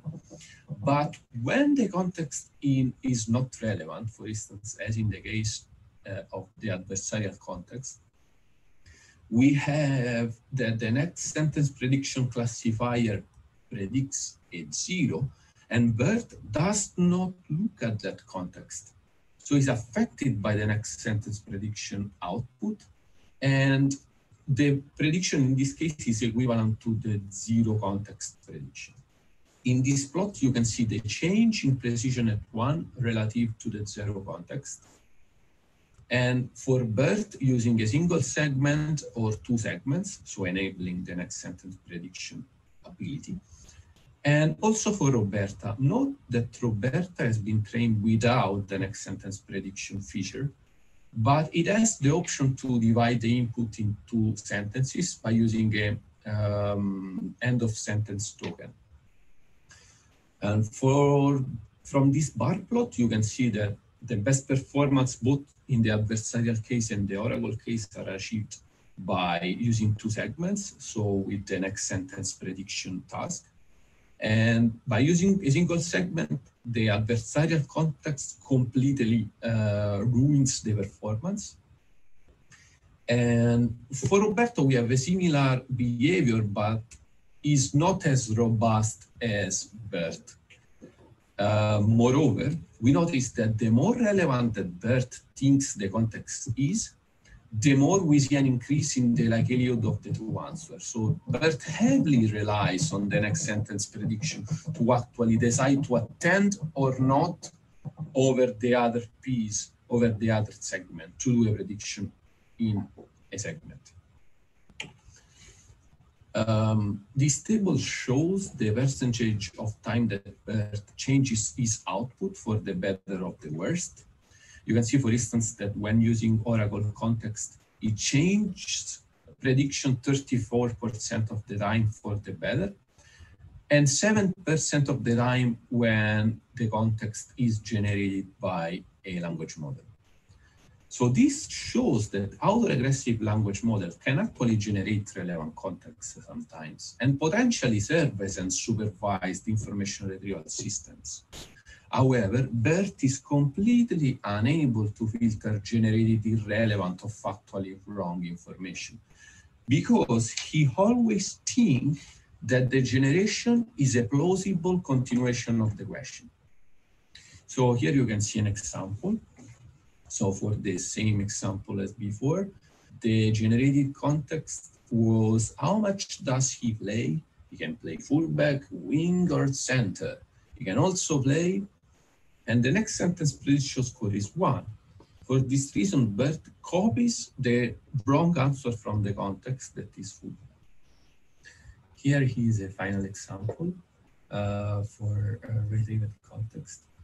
And it's quite interesting because even though the answer is not in the context, BERT was able to combine uh, this retrieved information with its own internal representation of knowledge to come out with the correct answer. To conclude, I think we should reconsider the next sentence prediction task because we show that it is an important component for robust exploitation of retrieved context. Uh, I also want to point out that the comparison with Dr. QA is not 100% fair because Dr. QA is an extractive solution while BERT is an abstractive. And also the single token limitation of the LAMA Pro is an advantage for BERT. Nevertheless, this work, together with a large body of literature in recent years, show that flexible and powerful unsupervised QA systems might not be too far on the horizon. Uh, thank you everyone for your attention. If you want to follow our works and updates, you can follow me on Twitter or you can follow any other among the authors. Thank you.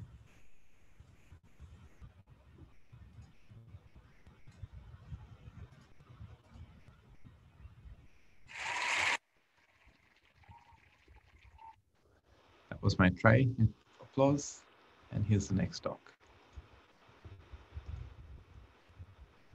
Well, hello everyone. I am Pouya from UC Irvine, and I hope you're doing great in the age of COVID-19. Also, the past couple of months shows us that there are many things that are much more important than knowledge graph. But today I'm going to talk about revisiting evaluation of knowledge base completion models. This is joined by me, Yifan Tian, and my advisor, Professor Sameer Singh. I'm going to start my talk by giving a brief introduction on knowledge graph completion. Then I'm going to share the shortcoming that we find for the current evaluation protocols. And finally, I'm going to provide the solution that we find for these shortcomings which is introducing Yago 3TC benchmark. Let's start with knowledge graph completion overview. Knowledge graphs are representation of information in the form of a graph where nodes represent entities and edges represent the relation between entities. Knowledge graph usually created through several sources of information such as unstructured text, structured text, and images.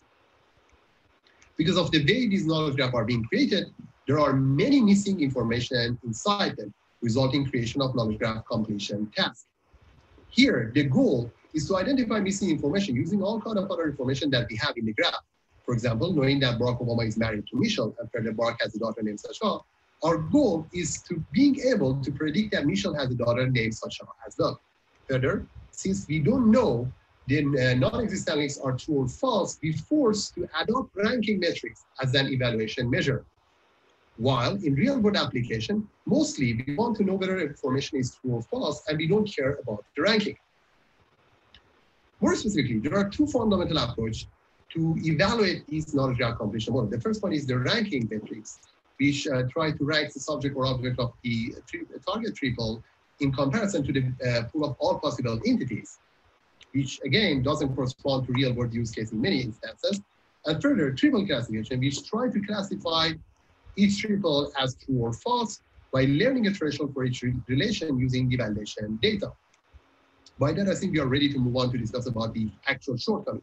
But before diving into the details, I want to lay out the three uh, negative sampling approach that we consider in this work. The first one is random sampling, which is widely adopted, and, re and replace the subject or object by a random entity from the pool of all possible entities. The second sampling that we consider is the constraint sampling, which uh, first filter all the entities that at least appear once in the relation of target triple. Then we replace the subject or object with a random entity from this specific subset. Finally, we consider careful sampling, which first identify all the entities that never appear with the relation of target triple, and then replace the subject or object with the highest score entity using a knowledge graph completion model. In this presentation, I'm going to talk only about three issues that we find in the current evaluation uh, approaches. I'm going to start with the calibration. We observe that calibration study is not well defined for these knowledge graph completion models. More specifically, in Yago 3 data for uh, three models of Tucker, RotatE, and DistMult, which were state-of-the-art uh, uh, results at the time that we conduct this experiment, we see none of these plots are uh, actually calibrated and, and, they are very under, uh, uh, uh, under confidence. The red lines is the ideal model that we are looking for. We see similar performance for constraint sampling and as well careful sampling as well. And there are two points in this plot. Firstly, most of these plots are not uh, calibrated And secondly, we see as we make the negative sampling more challenging, the behavior of uh, each model become completely different and demonstrating that the ambiguous nature of uh, calibration study for uh, these uh, knowledge graph completion models. The second issue that we observed was semi, the existence of semi-inverse relations in knowledge graph. More specifically, we observed that in WordNet 18RR, there are four specific relations that whenever we see them in the uh, tra train data with a high uh, possibility, we see the same triple with the same component, but with the reverse relation as well. These uh, relations consist 40% of train data and 30% of the test data resulting in a very high performance of 0.9 MRR on these three triples. Similarly, at Yago 310, we observed that whenever we see, uh, in 80% of the time that we see a relation placed for between two entities, we see relation is affiliated to between those two entities as well. These uh, relations uh, consist around 55% of train data and 50% of test data, again resulting on very high uh, MRR performance. The problem with this relation is the fact that uh, since are very simple to predict and they appear a lot in the knowledge graph, they, uh, they uh, result in ranking not being able to reflect reasoning power properly. Finally, I'm going to talk about the triple classification robustness. Here we see the class, the, these, the accuracy of this classifier tree-based WordNet and Yago tree. Uh, we observed that we, when we train this classifier using conventional way, but change the negative sampling in the inference time, the uh, accuracy dropped dramatically, demonstrating that these classifiers are very uh, brittle. I'm just want to point out that the current uh, triple classification results is around uh, is naively around 90% uh, see in this graph. Now the question that remains is how we can resolve this issue. We are looking for benchmarks that aligns with real world uh, application goals and further can properly differentiate between uh, these graph completion models and finally can capture reasoning powers of these models. And the challenge that we are facing to come up with such uh, benchmarks is uh, basically the fact that knowledge graphs are not complete. There are many, many non-existent links in them and identifying uh, any label for each uh, fact is very hard and expensive. The solution that we came up with for all of these challenges issue was Yago 3TC benchmark, which we created by firstly selecting random subset from Yago 3 uh, test data, then we identified top scoring triple from uh, for each one of these target triple using a, knowledge graph completion models.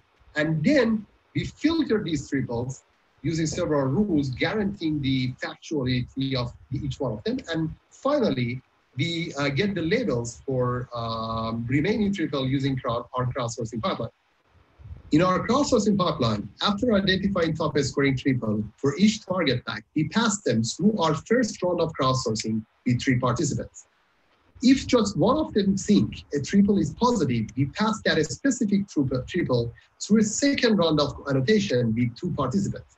This time, if both of the annotators agree that the triple is positive, we accept the label going through our crowdsourcing pipeline, we could gather around 30,000 triples, uh, from which around 10% of them has positive label.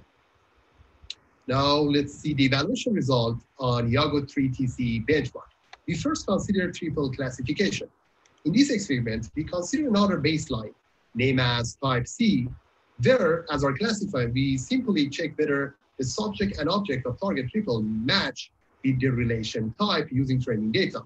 As we can see in the figure, these simple baselines perform very similarly to a state-of-the-art result models, casting doubt on the whole progress that we have so far on the knowledge graph completion models. In the paper, we tried to come up with several measures to improve the performance of these models, but we are far from the accept acceptable uh, performance we further see a huge drop in accuracy in this plot comparing to the previous result that we have, which was around 90%, uh, which we believe is uh, capturing the power of these models more realistic. We further conduct experimental calibration. As we can see in this uh, figure, there is two points here. Firstly, we see the order of models is reverse here, having the Tucker as the most calibrated uh, model right now. And further, we observe that now all of the models are overconfident compared to previous results that were underconfident, which consistent uh, with the previous calibration study on neural network models. Through this talk, we first observed that ranking metrics are not very trustworthy. We further noticed that triple classification is not robust, and these evaluation metrics do not align with real-world application goal, resulting in creation of Yago 3 TC benchmark as the first step to, toward better evaluating these knowledge graph completion models. As a final note, I just want to mention that uh, we uh, intend to create a web-hosted evaluation platform to continuously update Yago 3 TC using new knowledge graph completion models. Uh, in this talk, I had a chance to go through all of uh, these topics, and you can see uh, uh, the website for our project and my uh, contact information here. Thank you, Bruto.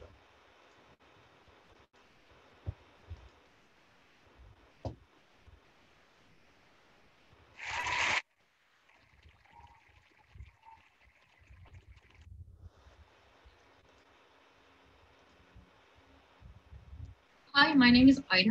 I'm a PhD student at the University of Washington working with Professor Hannaneh Hajishirzi Uh, we want to welcome you to the virtual presentation of our work on procedural reading comprehension and also thank our co-authors, uh, Anton, Bhavana, and Yejin. We refer to process as sequence of events describing uh, changes in the properties of the main elements that are uh, participating in the process. Procedural text describing the process can be found in uh, various domains, for example, the cooking recipe or the scientific process or a mathematical problem can all be seen as procedural text. Give an example, here is uh, the, um, the procedural text describing a scientific process uh, we want to illustrate how we can map uh, from text to the uh, to find the location attributes uh, of the entity's fuel and mechanical energy throughout the process. By going through the first sentence, the engine must be powered by gas or some fuel source. Uh, the reader can easily infer that the location of the fuel is now engine.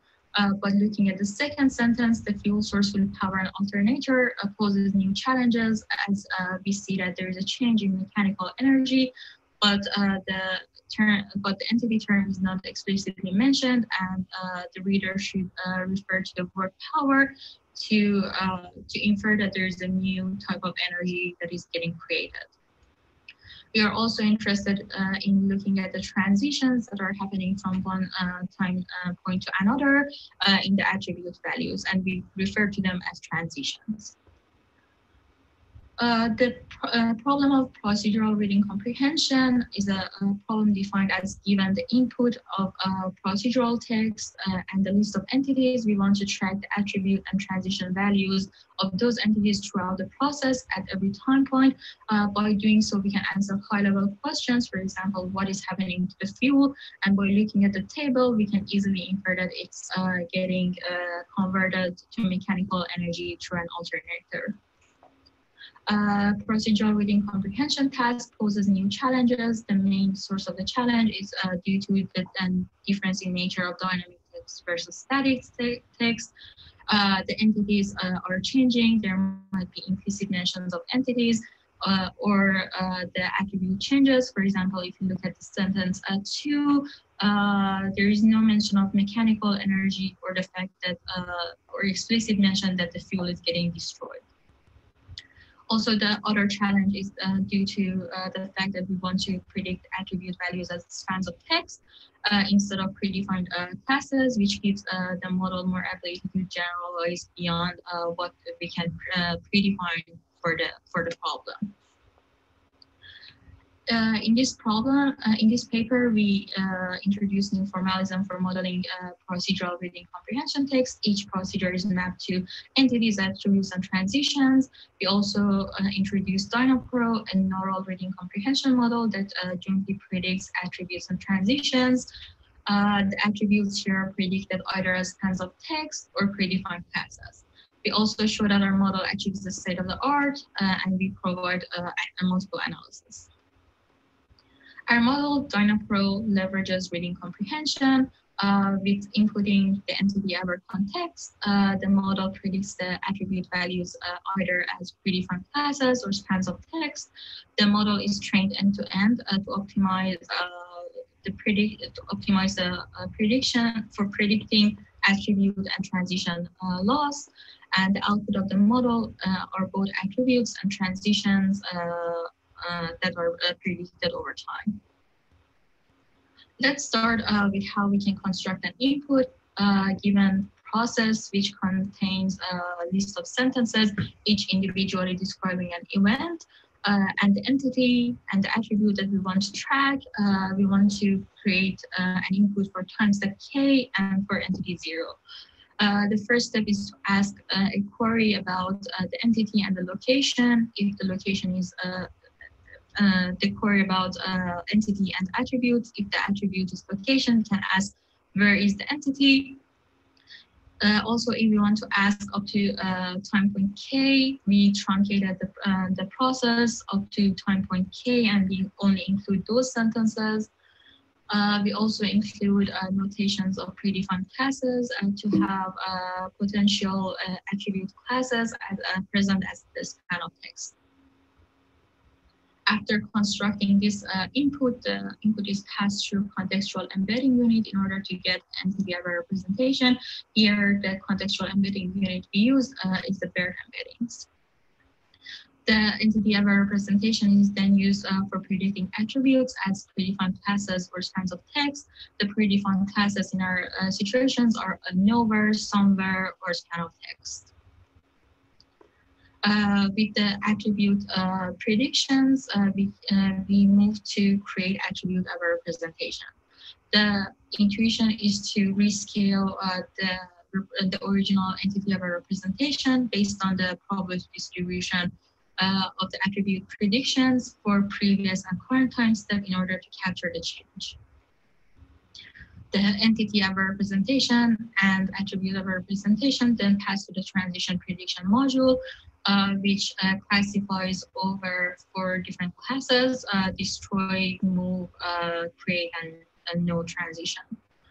Uh, in order to have smoother predictions, we use a bias, BiLSTM layer uh, in order to have a memory of what are the previous uh, for as for the experiments, for our main ben benchmark, we use uh, ProPara dataset. ProPara is a carefully annotated data containing around 400 scientific paragraphs for the training set. Uh, over the ProPara, there are multiple uh, test beds uh, and benchmarks introduced.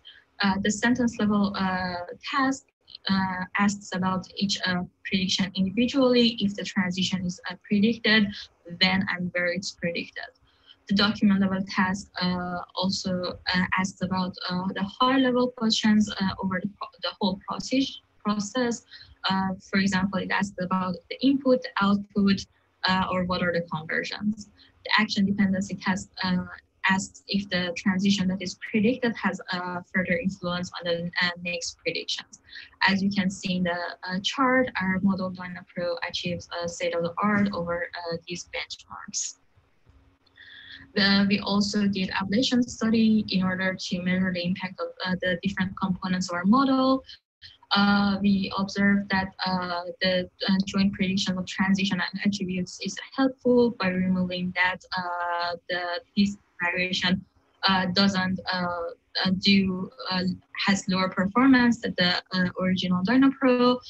in order to measure the impact of attribute representation, we did two experiments by removing the attribute of our representation or replacing that with a classification token that is provided by BERT.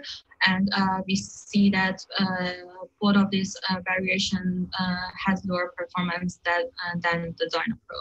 We also showed the impact of truncating the, the input by feeding the full context and observing that the results are much lower.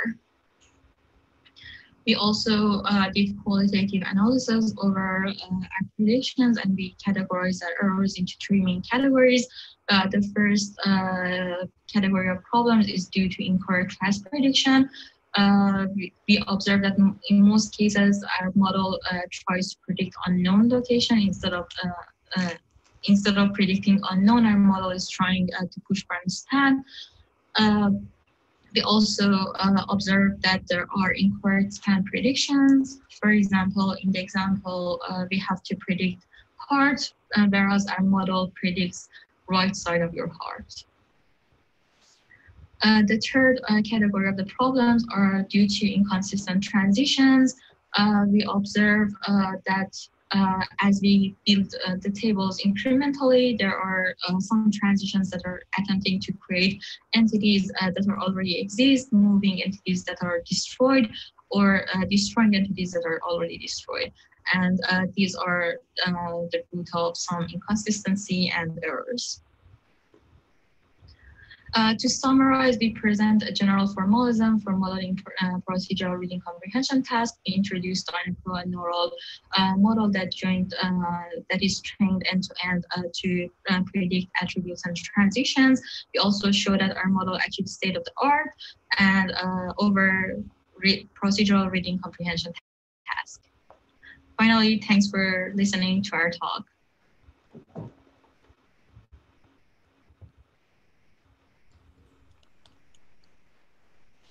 Hi, my name is Ida. I'm a PhD student at the University of Washington, working with Professor. Hello, everyone. I'm Zhen. It's my pleasure today to present a joint work with Yunpu Ma, Yu Wang, Stephan Günnemann, and Volker Tresp. In this work, we focus on learning from temporal graphs, where we use a graph Hawkes process to capture the underlying dynamics. Compared to semantic knowledge graphs, temporal knowledge graphs, or TKG for short, store time-dependent events instead of set facts. For example, the GDELT dataset extracts news from newsletters and uses the key information such as quadruple of subject, predicate, object, and timestamp to represent an event. Here is a graph view of a temporal knowledge graph, where nodes correspond to entities, and an edge corresponds to a predicate with a timestamp indicating when this event happened. Since each labeled edge represents an event, we can consider a temporal knowledge graph as a sequence of events, where edges with the same timestamp are considered as concurrent events. For example, there are five edges in the first, in the first graph slice, we have then five concurrent events at the timestamp T1, so on and so forth. Based on observed events, our task is to predict links in a future time instance. For example, T4 here. There are several tools for modeling event sequences, such as the Hawkes process, which is a self-exciting point process. Each event type K has a time varying intensity that represents the expected number of occurrences of this event in a unit time interval. In the Hawkes process, past events conspire to temporarily raise the intensity of future events. When Eisner generalized the Hawkes process by using a recurrent uh, neural network to predict the intensity function called the neural-Hawkes process. In the neural-Hawkes process, an intensity function jumps discontinuously at each new event and then drifts toward a base intensity. An occurred event can not only raise, but also reduce the intensities. Therefore, the model can capture both the excitation and inhibition effects. Although the event time in existing temporal knowledge graphs, such as GDELT, is discretized, we use the Hawkes process to model discrete events in continuous time the advantage is that we can predict continuous time when events happen. However, we can't directly apply the Hawkes process on temporal graph due to the scalability issue. More specifically, each possible link between two nodes represents an event type, namely a, tri a triple of subject object. The number of probable uh, number of probable event types of knowledge graph is enormous. For example, there are 1.4 times 10 to the power of 10 probable event types in our data set, while the training set only contains about 10 to the power of 6 existing event types. So the graph is very sparse. By addressing this issue, we developed a graph Hawkes neural network, or GHN for short, that can be applied to large-scale temporal knowledge graphs. In the following, I will take this object prediction query as an example to explain our model. Inspired by the score function of static knowledge graph combining methods, we use entity and predicate representations to model intensity functions instead of using event-specific parameters. Besides, we focus on the influence of past events that include the query subject E1 and the query predicate P1. We call these events the historical event sequence of this query. By predicting the missing object, we fit this historical event sequence into an RNN and compute the intensity function. But the model can still capture information from other events because there are shared values for entities and predicates. Modeling the intensity function using entity and predicate specific parameters and narrowing the scope of past events enable our approach to deal with large-scale temporal knowledge graphs. Continuing with this query, the red figure shows that the subject entity E1 form two links with other object entities at the timestamp T1. To summarize these concurrent events, we introduce a neighborhood aggregation module that computes the mean of the object embeddings, where the big O represents the set of entity 3 and entity 4. Then we define an intensity function to characterize the graph Hawkes process.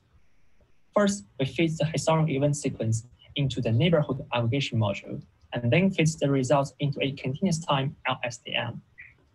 After the CLSTM processes all events in the historic event sequence, we concatenate the hidden state vector with the subject embedding and the predicate embedding. And then we make an inner product between this output and embedding of an object candidate as a similarity measure. Especially for the, I mean, for this object prediction query, we refer to this intensity function as the subject-centric intensity function for predicting the missing object. For an object prediction query, we choose the object candidate with the highest intensity at the prediction.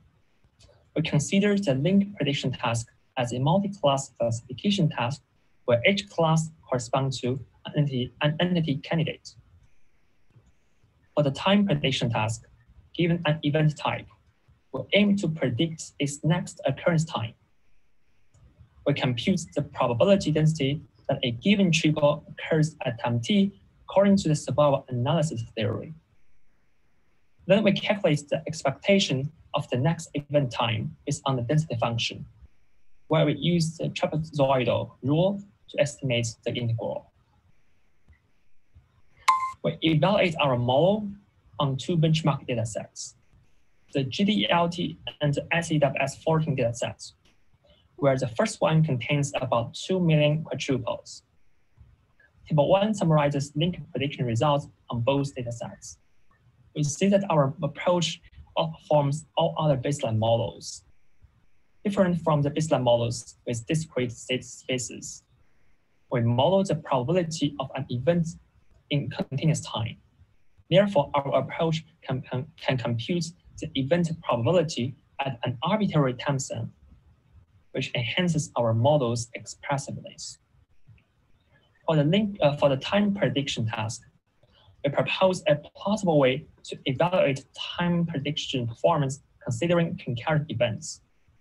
Otherwise, most branches value would be zero, as in a baseline model called Know-Evolve. We compare our approach with LiTSEE and Know-Evolve since only these two models are capable of performing the time prediction task on temporal knowledge graphs. The figures demonstrate that our approach achieves competitive results on both datasets. There are several use cases of our approach.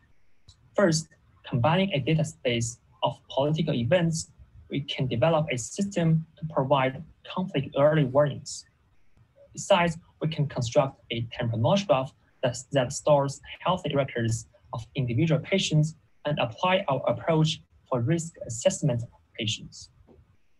To summarize, we propose the graph Hawkes neural network for forecasting on large, large-scale temporal knowledge graphs. We solve the challenge of massive event types, uh, borrowing the ideas of the score function from static knowledge graphs.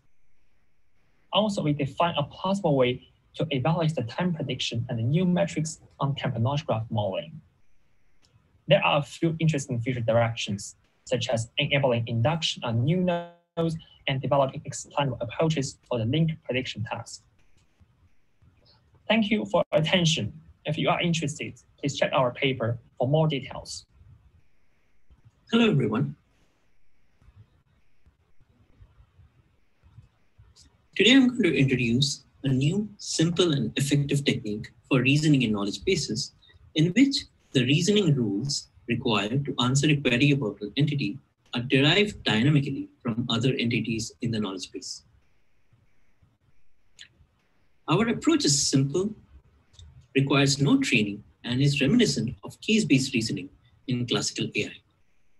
I'm Rajarshi, and this is a joint work with Ameya Godbole, Shehzaad Dhuliawala, Manzil Zaheer, and my advisor, Professor Andrew McCallum. Automated reasoning is defined as the ability of computing systems to infer new facts from observed evidence. We are interested in automated reasoning over large knowledge bases with rich and diverse semantic types. Knowledge bases provide an excellent testbed for automated reasoning. And here's why. The first step in creating a knowledge base is to gather a lot of text and identify the entities present in them, followed by connecting them with semantic relations. This figure represents a toy knowledge graph in which the entities are nodes in the graph represented in uh, colorful rectangles and the relations are represented as labeled edges. Even in this toy knowledge graph, we can infer several unobserved facts. For example, we can infer that Andrew lives in the United States by doing compositional reasoning on the observed facts that he works at UMass, which is located in Amherst, which is located in the US. Or the fact that I work at UMass because I'm a graduate student working with Andrew, who works at UMass. There has been an area of work which learns this logical inference rule from data and stores them in the model parameters. This paper, we argue that reasoning can also be very contextual, and the reasoning rules required to answer a query can heavily depend on the entities present in the query. For example, consider the following query, which is always there in every graduate student mind when they're getting ready to travel to a conference. Do I need visa for traveling to AKBC 2021? This translate, translates to the following knowledge base query. Now, to answer this question, it would really depend on the, the type of passport I hold. For example, do I have a diplomat passport or not? Or the list of countries which offer visa on arrival to Indian citizens or the current political allies of India. Note, the reasoning rules would be different for other people. For example, it would be really different for Andrew. Moreover, the rules to answer this question are dynamic in nature because they inherently depend on the foreign policy of a country, which keeps changing with time. In a nutshell, to answer such queries need different fine-grained rule for each entity, and hence it becomes hard to store all of them in the model parameters. Also, it's unclear how the parameter, the parametric models will adapt when the underlying data changes. The contributions of this work is to develop an approach which learn fine-grained rules tailored for each entity by deriving logical rules dynamically from other similar or contextual entities rather than storing them in parameters. In fact, other than the entity embeddings, our model has no parameters. And, the, and since the rules are, are derived at inference time for each entity, it can handle updates or changes to data seamlessly. First, a small primer on what case-based on case-based reasoning. CBR is, is described as a process of solving new problems based on solution to similar past problems. For example, consider an automated mechanic trying to fix a car by recollecting past memories of them solving other cars with similar problems. A case is an abstract representation of a past problem and its solution. CBR is a four-step process. The first step is retrieving the relevant cases from memory given a new problem, followed by trying to reuse the solutions to previous cases. However, sometimes the solution might not work out of the box. In that case, the solution should be revised accordingly. If, if the revised solution worked, then the new case is added back to the memory.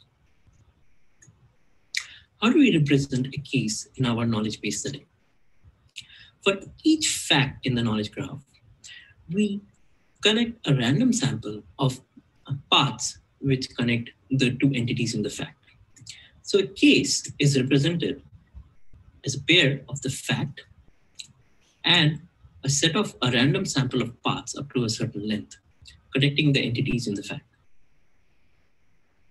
We repeat this process for every, every fact in the knowledge graph, and thus we have case memory.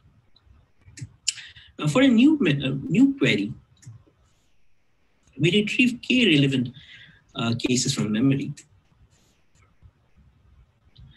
This is followed by gathering the paths from those cases and then removing the entities so that these paths are now just a sequence of relation types.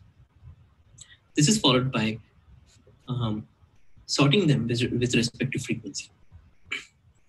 Next, we, for each path, we symbolically match them to paths in the neighborhood of the query entity.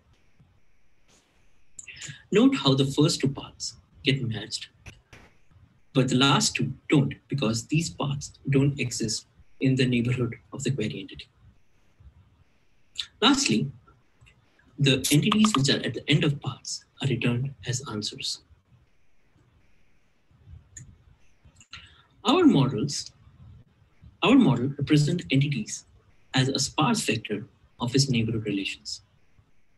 This is a very simple way of representing an entity, but it can be easily extended, for example, to include entity information in the neighborhood or can be re replaced by dense embeddings from trained neural models. Apart from these sparse entities, our model requires no other parameters and does not require any, any training. The similarity is, is the cosine similarity between entities. And for, for a given query, we consider only those entries for which we observe the query relation. Coming to the experiments, our task is knowledge base completion, in which we predict the head or tail entities given an unobserved triple. We test our model on um, three academic knowledge graphs. And our baselines are several state-of-the-art parametric rule learning or embedding-based methods. On the NELL dataset, our approach outperforms all other rule, rule learning or embedding-based approaches, gaining over more than three points in accuracy. On the WordNet dataset, our approach performs competitively with all rule learning and embedding-based approaches, except for the newly proposed RotatE model. And on the subset of freebase, we not only outperform embedding and rule learning approaches, but we also outperform approaches which observe the logical rules required during training. Lastly, we find that our, our method is able to gather more fine-grained rules for every query type in the NELL dataset when compared to Minerva, which is an existing rule learning approach. Please refer to the paper for other experiments on low data settings and even more analysis. We introduce a general framework with a lot of exciting future directions. For example, learning richer entity representation and a better similarity metric, better matching of paths, improving upon our simple symbolic matches, and considering subgraph instead of paths as solution to cases. In conclusion, we introduce a new approach that derives reasoning rule dynamically for each entity and requires no training and outperforms existing rule induction methods and are compar comparable to existing embedding-based approaches. Our methods have a lot of exciting future directions. Thank you.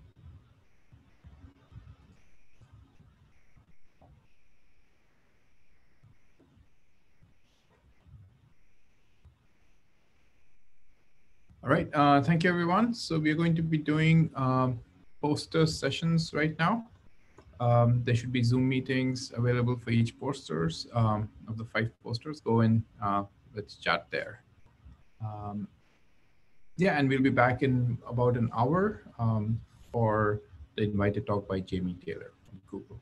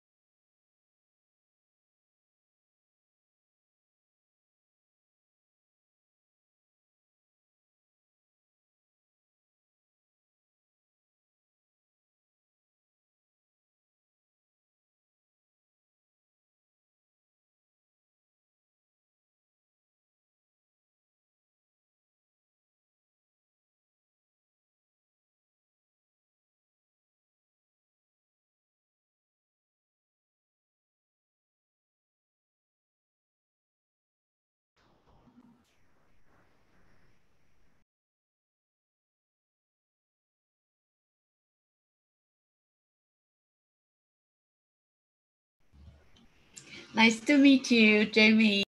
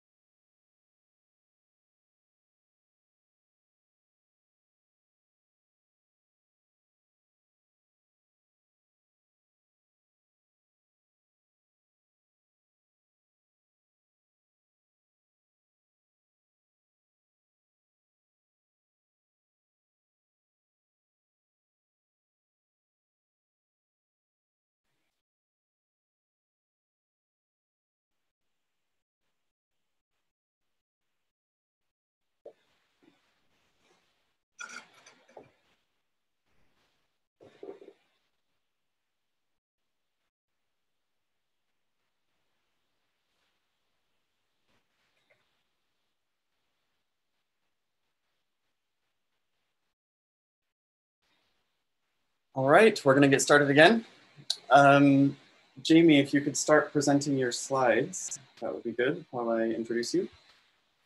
Um, I'm pleased to introduce Jamie Taylor, who is coming up on 10 years now at Google, uh, where he manages the schema team for Google's Knowledge Graph. He joined Google following the acquisition of MetaWeb, where he was the Minister of Information helping to organize data in Freebase Prior to that, uh, he uh, published a book on programming the semantic web and was the CTO of Determined Software. Jamie, welcome to AKBC. Thank you so much. Uh, I'm honored to be here um, and to be invited to uh, this conference.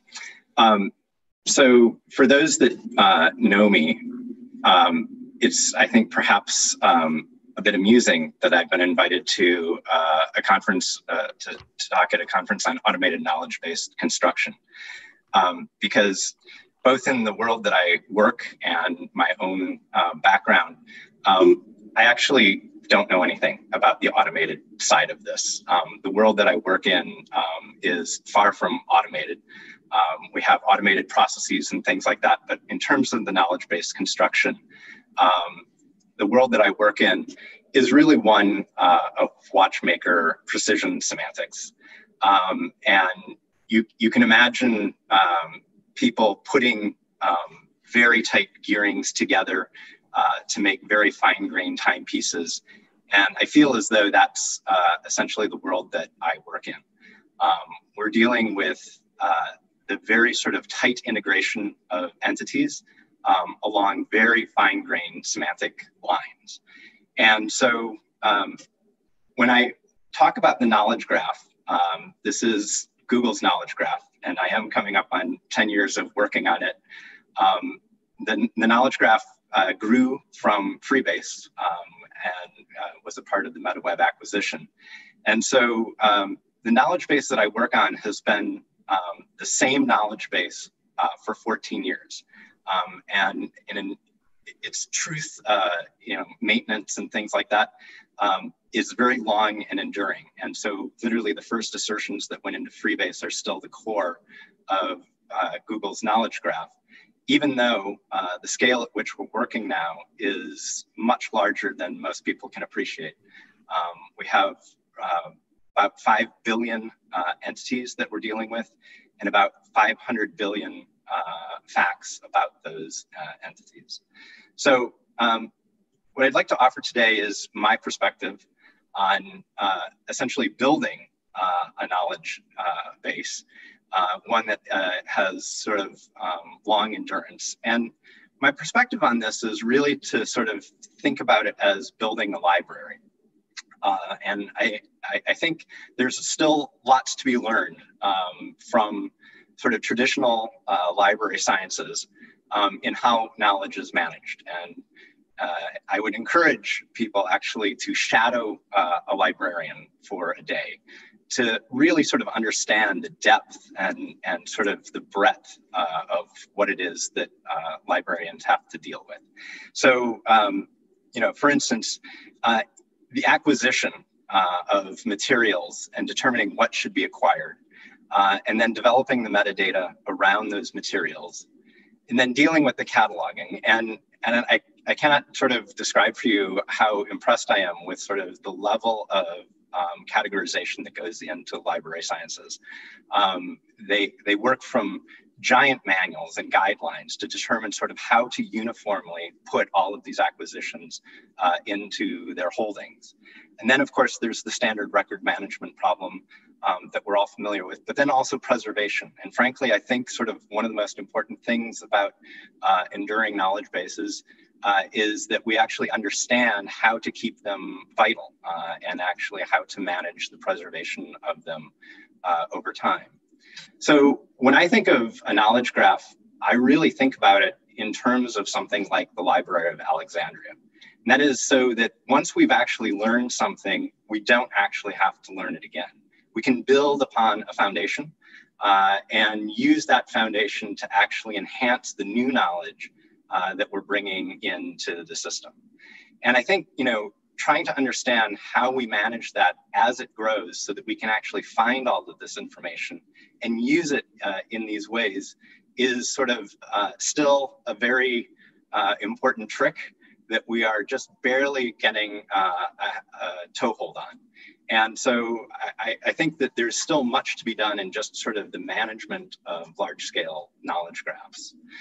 Um, I think one of the critical things that I think about um, in terms of these large knowledge graphs is that knowledge is actually being written down. Um, and that is that, you know, once we actually know Angela Merkel's birthday, we would never encode it again. And I find it, you know, so uh, interesting and actually sort of wonderful that uh, Freebase, you know, is frequently cited in so many of the papers uh, at this conference uh, as being one of the data sets that people work on my hope was always that you know the the knowledge that is in something like Freebase or Knowledge Graph would long outlive me, uh, and that's the reason that we want to sort of develop and, and organize these the way we are. Um, so the idea is that you know you can put all of this information down one time, and it's in some machine readable format, and you can actually manage it uh, at a very large scale.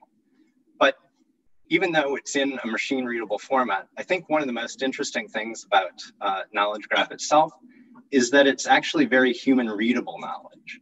Um, and that is, you know, when I think about the quanta um, that is in Knowledge Graph, you can imagine sort of a, a wide spectrum uh, of describing sort of what's actually in the graph. And for the most part, what we have in Knowledge Graph is very discrete.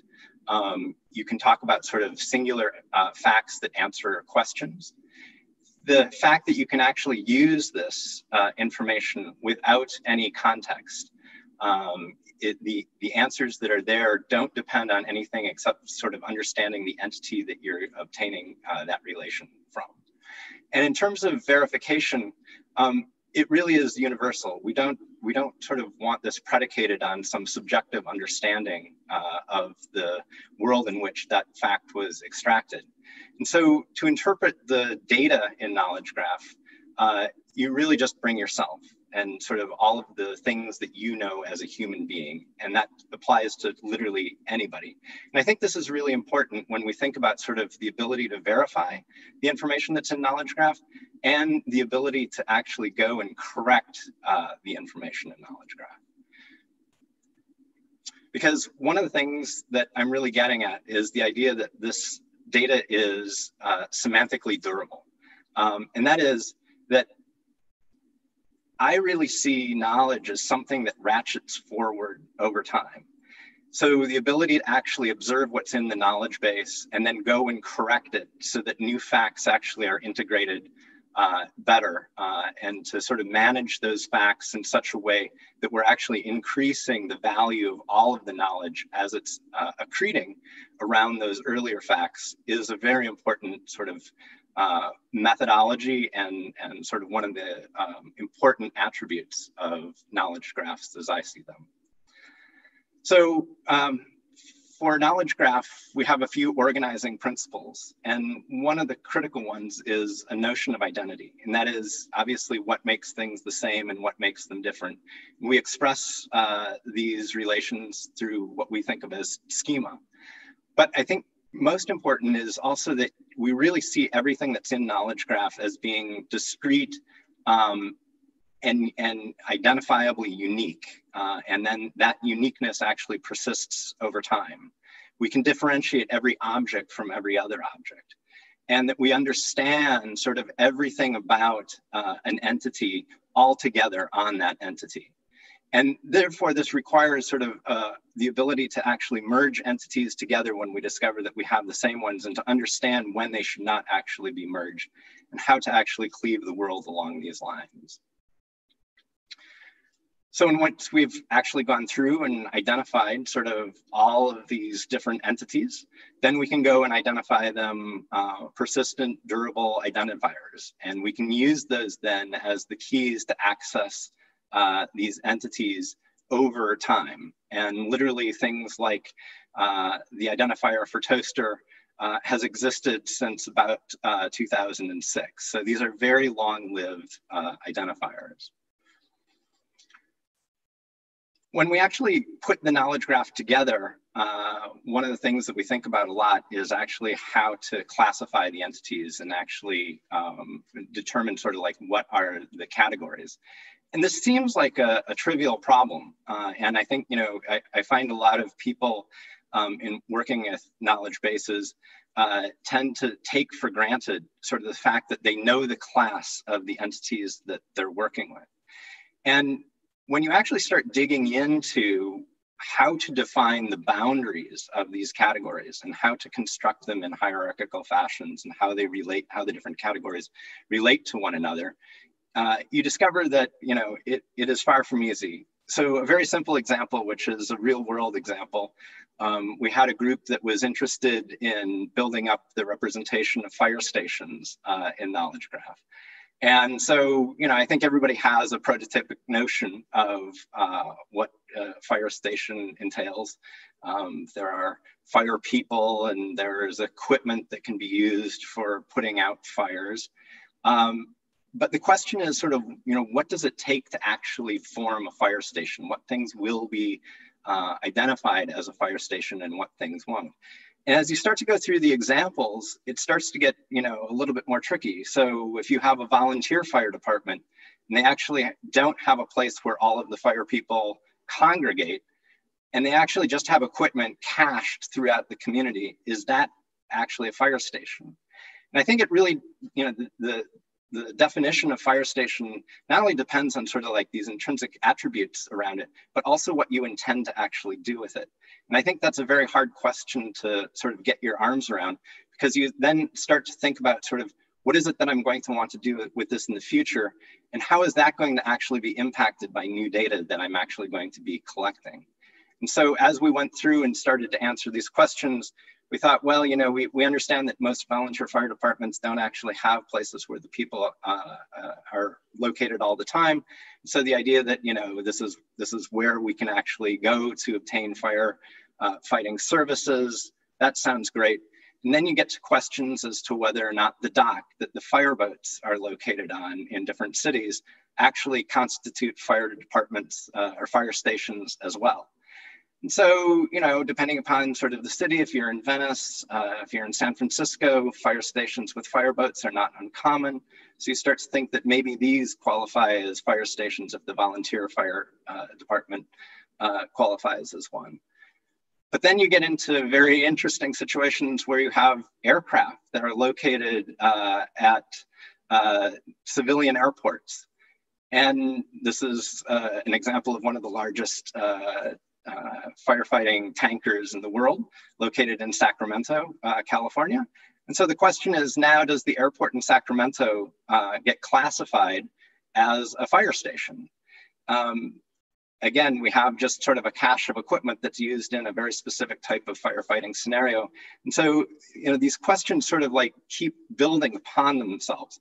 But it's really important that we actually understand how to draw these boundaries so that we can actually have a notion of fire station which is stable over time and to which we can actually uh, accumulate new knowledge. So along with class identity, we worry a lot about um, entity identity and what makes an entity the same or different from another. And again, this seems so easy and intuitive, um, but the question is sort of like, on what dimensions are you actually going to start carving apart uh, different entities? At what level of granularity is it interesting or important to actually start separating these things from one another? And so, you know, it's it's easy to say, well, you know, I understand the difference between a toaster and a kettle. Both have heating elements, and um, one works well with liquid and the other doesn't. Uh, and then you add things in like blenders, and you start to say, well, okay, so there's something else about these than that I have to take into account uh, to describe them. And yet, you know, all of these things as kitchen appliances, you start thinking, well, okay, now we need to differentiate these things from other types of tools that are around the house uh, and sort of all sorts of other equipment. And you do this uh, for 5 billion uh, entities. And you start to just to decide that actually the decisions that you make today are very, very important because if you don't make good decisions today, essentially the problem snowballs in the future. One of my favorite uh, uh, entity identity uh, questions is around sports teams. Um, and so, you know, this is a question of sort of what constitutes um, the same sports team over time. Uh, so the Victoria aristocrats actually had many different names uh, over the years. Uh, and they actually played in many different uh, leagues, many of which don't exist anymore. And so the question is sort of, you know, when does the uh, cougars that were in the NHL differ from the cougars that were in the WHL.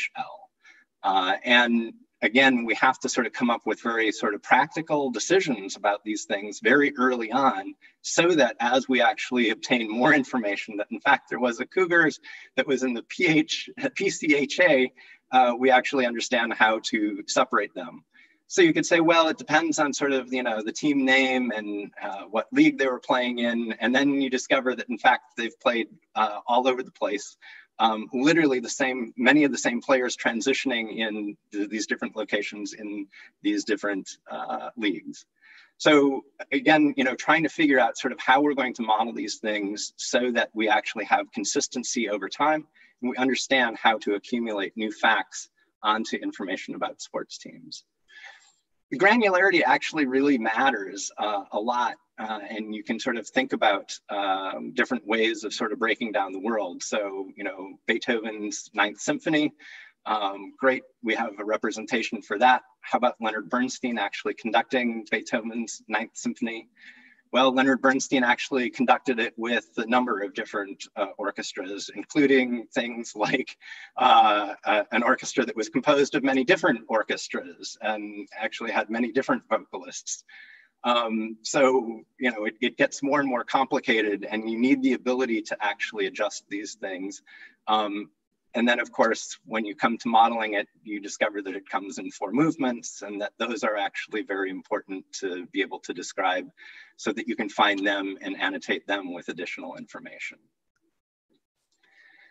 Um, I think, you know, again, it's very easy to sort of think that, you know, record merging and reconciliation and all of the different terms that have been applied over the past 50 years to this um, information sciences problem um, you know, you, you, we want to treat it like it's a solved problem. And, and yet, um, very simple cases like understanding sort of the relationship between um, all of the different uh, notions uh, of the story of total recall and actually understanding sort of the, the fact that, you know, books about that uh, uh, actual production, then uh, develop names uh, of the production get incredibly complicated. And I have to tell you that, you know, again, sort of managing all of these different relations across media and all of the different names and things like that, understanding when it is that you actually have uh, a cinematic release and determining sort of all of the different formats that that release may come in and all of the different places where that release may have taken place um, are sort of a part of what it means to get your hands around uh, entity identity. Um, but of course, there's also relational identity. And so it's not enough for us to say we actually understand how to talk uh, about a structure's height, because of course there's the structure's height, you know, with antenna, with mast, what was the highest, you know, occupiable uh, level of the building. All of these things have to have some relationship to one another so that we can answer basic questions, but we can also understand and answer more complete questions, you know, that uh, uh, dive into the deeper semantics. Uh, I think, you know, another one is you think about sort of like who is the architectural uh, structure designer. Um, and, you know, it's very easy to attribute it to some architect, um, but perhaps it was, you know, actually something that should be attributed to the firm, attributed to uh, a, a lead within the firm, and again, we want to be able to answer these things at all of these different levels of granularity, and we need that representation. Um, and so this gets us into a world of really high precision semantics. And so this is, you know, as I was describing, uh, watchmaker, clockmaker uh, um, semantics. And so we want to make the distinction between the religion and those practicing it um, you know, the island in, in, which a country subtends, but, you know, if that island, uh, you know, should be described as a geographical region separate from the country, we have to make those determinations. If you ever want to entertain yourself, go trace the history of the Remington Rand Corporation um, through, you know, the Remington uh, and Sons, through the typewriter company, Remington Arms, Sperry Univac, Unisys. Um, it's a crazy timeline where you actually need to have sort of different levels of granularity and resolution to understand sort of how all of these things fit together and yet have a, the ability to talk about them in such a way that you can do the proper retrievals on it. So this really gets me to sort of like the core problem that uh, I, I worry about all the time, which is, you know, identity is, is very core to how it is that we manage the knowledge graph. But yet, how is it that we actually make sure that we're not just sort of arbitrary in how we actually segment the world? And then once we've decided how to do that segmentation, how do we make sure that we've applied it uniformly? And so when I think about sort of like where this leads, it leads us to a lot of what I think of as semantic hand, wringing. Um, for all of the organizations that are out there, people want to be able to describe the Museum of Modern Art in New York but Museum of Modern Art is, you know, a collection. It's a physical location that actually has subsidiary locations. It's an organization that uh, is responsible for the employment of people and for publishing books and controls the rights to uh, a lot of media. And so we want to break those down so that we can actually answer questions and understand the world and the relationship between all of those things. And yet, when people ask us questions about the Museum of Modern Art, for the most part, we colloquially don't actually make these types of distinctions. So the more I think about this problem, the more I start to think about sort of what I think of as semantic neighborhoods. And so there was a point in time where if you asked about the New York Times circulation and you thought about sort of all of these different facets of the New York Times, you'd say, well, actually, there's a publication called the New York Times that the New York Times produces. And so therefore, that must be what you're talking about. But in truth, the New York Times actually owned the Boston Globe. And so when I talk about the New York Times circulation, I should be able to actually say, look, actually, I'm thinking about this at different levels of granularity and understanding sort of how to actually expand out this graph so that I can actually talk about sort of entities at different levels of granularity becomes very important. And so this is, I think, the biggest challenge that we face um, as we grow very large scale, long term knowledge graphs. And that is the way that we talk about the world and the way in which we want to model the world don't necessarily coincide. And yet, it's the way that humans and actually a lot of the information sources want to talk about this stuff.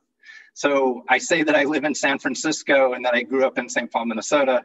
And the truth is that neither of those things are actually correct. I live very close to San Francisco and I grew up just north of St. Paul. Uh, but you know, for anybody uh, that I talk to who is not in that actual area, I'm going to talk about it in these very general terms. We want to know whether or not Tylenol can have side effects, but the truth of the matter is that a brand actually can't have side effects. The things that the brand actually produces and sells under that brand name can have the side effects. So these subtle things actually turn out to be sort of real trouble um, when it comes to semantic modeling. So one of the things that uh, we've been experimenting a lot with, and I have to credit um, my colleague Andy Vajda for really opening my eyes to this. We had developed a lot of very high level uh, semantic relationships so that we could actually understand sort of the general notion of something contributing to another thing or that something actually had an origin. And Andy took these ideas and said, actually, when you start using them in combinations, you get very interesting results. So that if you think about sort of all of the subproperties associated with uh, a very high level notion of contributed to, and I say, I'm interested in, you know, what contributed to Star Wars, I then go through this list and produce some small result set. And when I actually intersect that against sort of all of the possibilities for origin two, it turns out that I actually get a very, very tight uh, result set, one answer, uh, Harrison Ford. And in cases where I don't, other interesting things start to happen. And so I, I think this ability to actually think about both very fine level, fine grained semantics, but also understanding how relationally loose semantics when used in, in uh, interesting ways, can actually produce the same kinds of fine-grained results is actually a very interesting idea that gets us out of a lot of this semantic hand-wringing. So one of the things that we've found very useful in organizing knowledge graph is to think about very high level, uh, categorically loose semantics as well. So um, we can you know, qualify things as being agentive or non-agentive, as being animate or inanimate, categorical or individual. And when we actually use those things together to describe the different entities, you start to see sort of interesting patterns uh, emerging. And so when you then combine these categorically loose semantics with the relational uh, loose semantics, it turns out that you actually start to also get into a fine-grained semantic division. And so I think, you know, one of the interesting things about sort of bringing all of these things together is that, you know, the semantic durability and the ability to actually have these types of uh, notions of semantic identity coming together allows us to talk about the kinds of strong identity that we want to have without necessarily going overboard into with precision semantic uh, instruments like we've done uh, in sort of our clockmaker semantics. So uh, I believe that durable identity is really sort of the way that you ratchet knowledge forward. You do it with some human intervention. And I think when you use it in combination with other types of semantics, we actually get a lot more power out of the system. Thank you.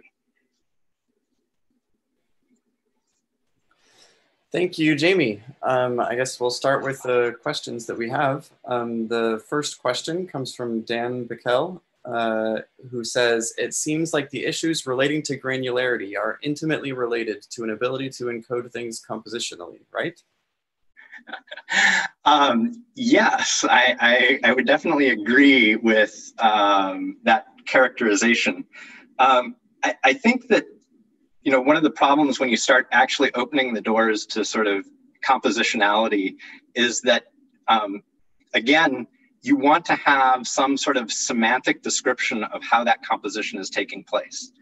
Uh, and it turns out that, you know, as we pursue those types of, of questions, um, questions of compositionality uh, themselves turn out to be equally as challenging. And, and actually, I, I feel that that's an area where we have um, lots less um, to fall back on. uh, that not uh, enough work has really sort of looked into sort of all of the different ways in which composition takes place. When you talk with uh, linguists, uh, many of whom I work with, um, I am amazed, uh, I, I, should say, at the uh, level at which compositionality and language um, has been, you know, studied and, and taken apart. Though I must say that, uh, again, it doesn't feel like we have sort of like um, strong bedrock to stand on there. Um, but I do think that as these two worlds come together, more interesting things will come out of that. Great, thanks. Next question uh, comes from Anne Kokos. Uh, it is it's hard to get granularity right the first time. Do you have any rules of thumb you use to make it simpler to adapt the schema as time goes on? Uh, that's a really good question. Um, and, uh, you know, it, it, keeping schemas simple uh, is useful. I think, you know, one of the, one of the interesting things is to make sure that you don't paint yourself into a corner. And we have certainly made plenty of those types of uh, mistakes uh, and you know work and i must say that once you've actually accumulated a lot of knowledge and it's actually in use then trying to sort of like figure out ways to sort of back out of those um, problems are a real challenge. Um, I think, you know, those top level categorizations um, and using them to sort of like guide us in terms of the creation of uh, categorical structures below um, to prevent the types of conflations that we don't want um, has been sort of actually very instructive. Um, interestingly, I don't feel that we have sort of that same level of guidance uh, for relational semantics. And this actually gets to the compositionality question. I do feel that that's an area where um, we at least um, don't have sort of as much experience um, and haven't found as much to rely upon. Interesting, thanks. Um, next question is from Andrew Su, who says, does your vision where any bit of knowledge was only structured once imply a need for a community knowledge graph? How do we as individuals and companies incentivize that? Uh, I, I, um, I, am wholeheartedly a proponent of this, um, which was, you know, in part my passion for Freebase and why I've been so excited with some of the Google releases. I really believe that, you know, in the current state of the world, Wikidata um, is really sort of, you know, um, the best opportunity forward for the community. Uh, but I, I do believe that, you know, more sort of community um, participation in sort of you know developing sort of uh, good uh, structural models and things like that, and good notions of identity is really important. So yes, I'm a huge proponent of that. Great. Next question is from an anonymous person who says, could you discuss the relationship between knowledge graphs and their provenance or evidence? Oh, um, I, very good question. And um, I, I, think they are deeply intertwined.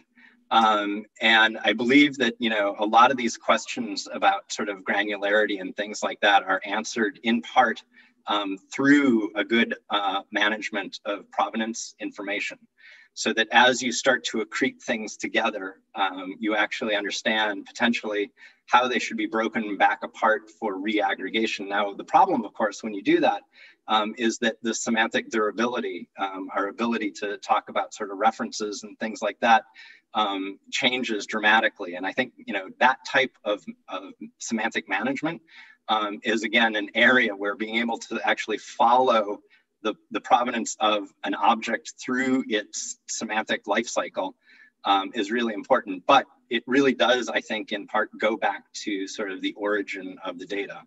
Um, and it is, I think, an area which um, probably has not received as much attention as it should. Great. Next question is from Zach Ives, who says, regarding the notion of equivalence, as with your example of San Francisco, this often seems to depend on the question being asked. Is there a way to capture this? Um, I don't know. Uh, you know, and and I, I should say that um, we have, um, I'd say, various cribs that we use actually a knowledge graph to understand sort of um, different levels of granularity of the boundaries that you might be drawing around uh, different uh, objects so that we can actually answer these questions um, in meaningful ways.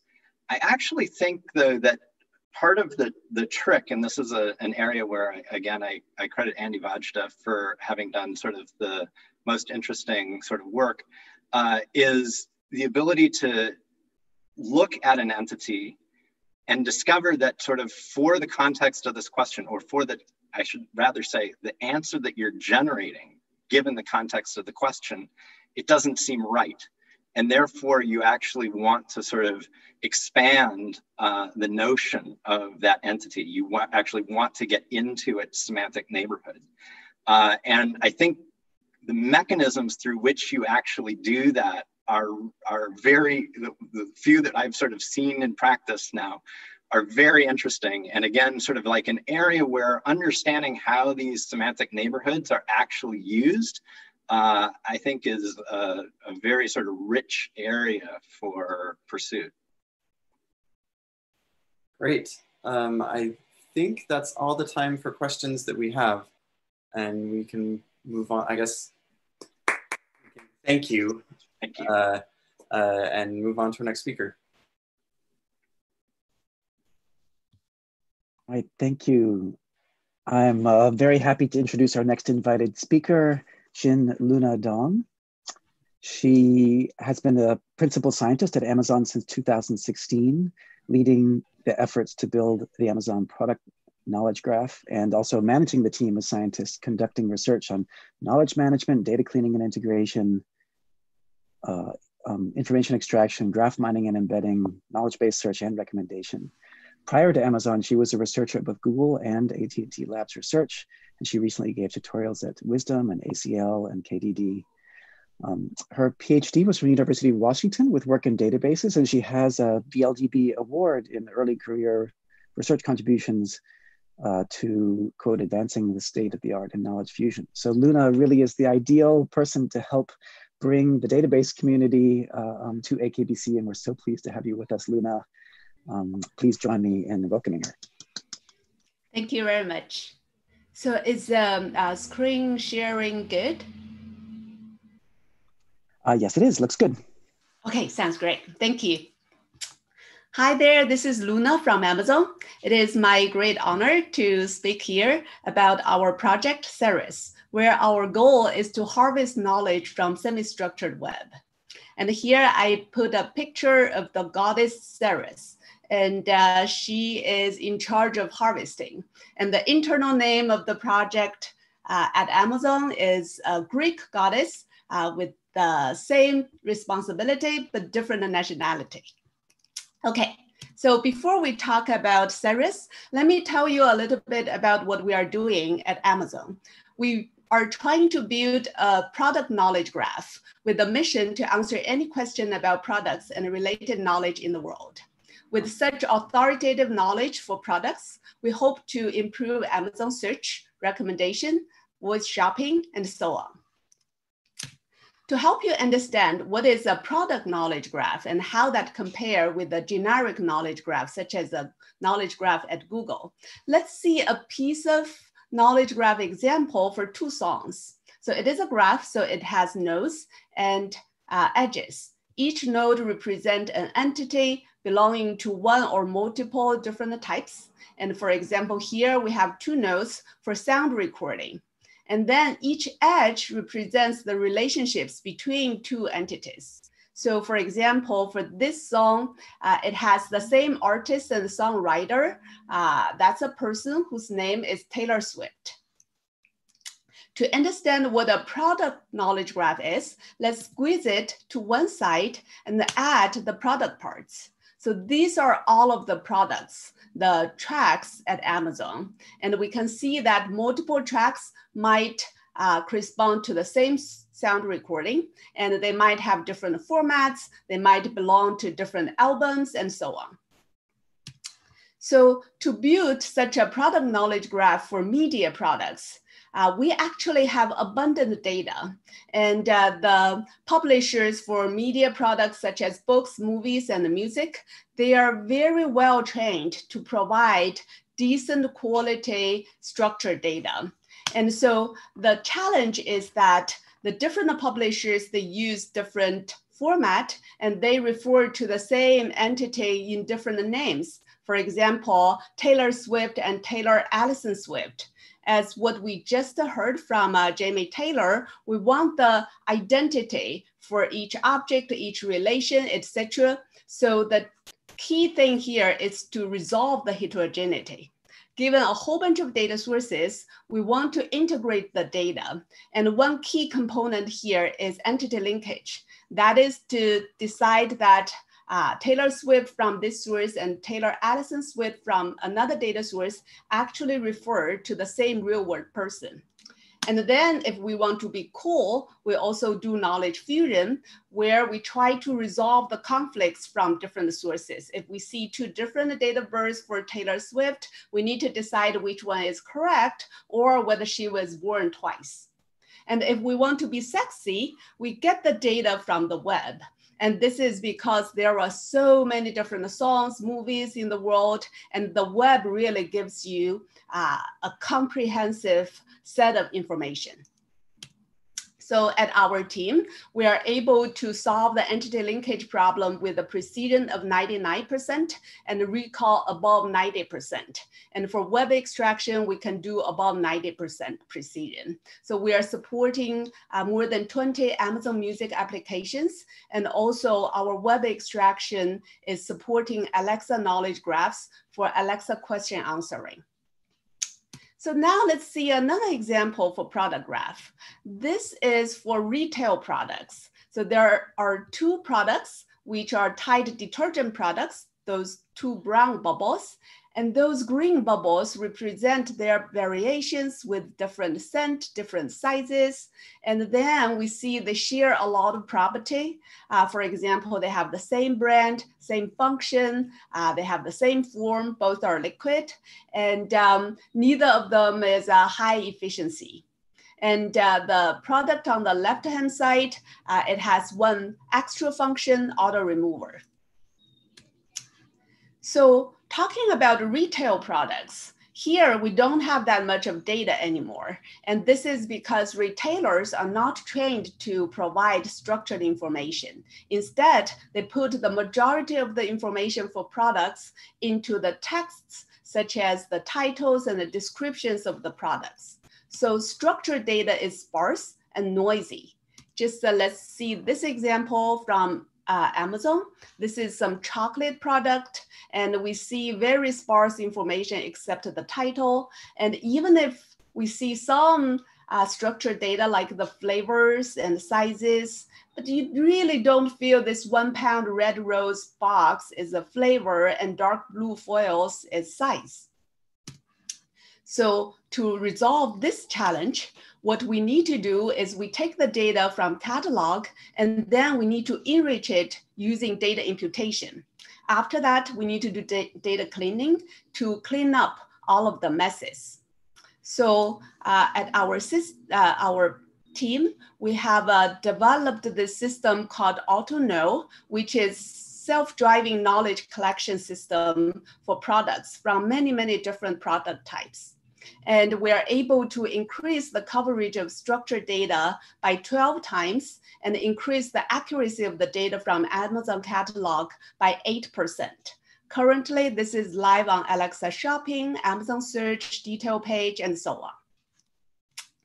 So for this talk, I will focus on web extraction. So although this is just one component of this big system, but as I said, this is the sexy component, and this is important for us to collect long tail knowledge to support Alexa question answering. Okay, so Ceres extract knowledge from semi-structured websites. And why do we focus on semi-structured websites? Let's first see a few examples so here is a web page from IMDb, and we see that it is not a big article or, or a huge chunk of texts. Instead, we see a lot of attribute value pairs that gives us information about this movie. Here is another web page from a different website about a famous Indian movie. And here is one about a famous Chinese movie, and it is in Chinese. And uh, most of the semi-structured websites, they are populated by some underlying giant databases and uh, according to some particular templates. So different pages on the website look very similar. So we have observed a big promise from semi-structured data. Uh, this is according to the previous project I participated in at Google called Knowledge Vault. The goal of Knowledge Vault is to extract knowledge from all over the web. And in particular, we consider four sources, four types of uh, knowledge sources. The first one is texts, the articles on the web, such as news articles, the second one is DOM trees, and this is the semi-structured websites we have just seen. The third one is web tables, the tabular information on the web pages. And the last one is web annotations according to schema.org in the HTML code. And uh, the parenthesis gives the number of knowledge triples we extracted automatically from each type of data sources. And we can see that 80% of the knowledge are extracted from semi-structured websites. And uh, if we look at the extraction accuracy from Knowledge Vault, it is 52% for web texts and 63% um, for the semi-structured data. It is better, even though it is not, not ideal yet. So let's see uh, what are the opportunities from semi-structured data. And here I want to use the largest iceberg in the world as a metaphor. And this is partially because semi-structured data is like a huge iceberg with a lot of information. And uh, here is a page from uh, Rotten Tomatoes about the movie When Harry Met Sally. And we can see the information on some of the attributes for the movie that we are familiar with, such as the genre, the director, the writer. And these are the information normally uh, modeled by ontologies such as the Freebase ontologies, as we have just heard from Jamie Taylor. And uh, this correspond to the part of the iceberg that is above the water. And in addition, there are attributes that we are not familiar with, such as in theaters, on district streaming time. And uh, we did some analysis on 10 popular semi-structured movie websites.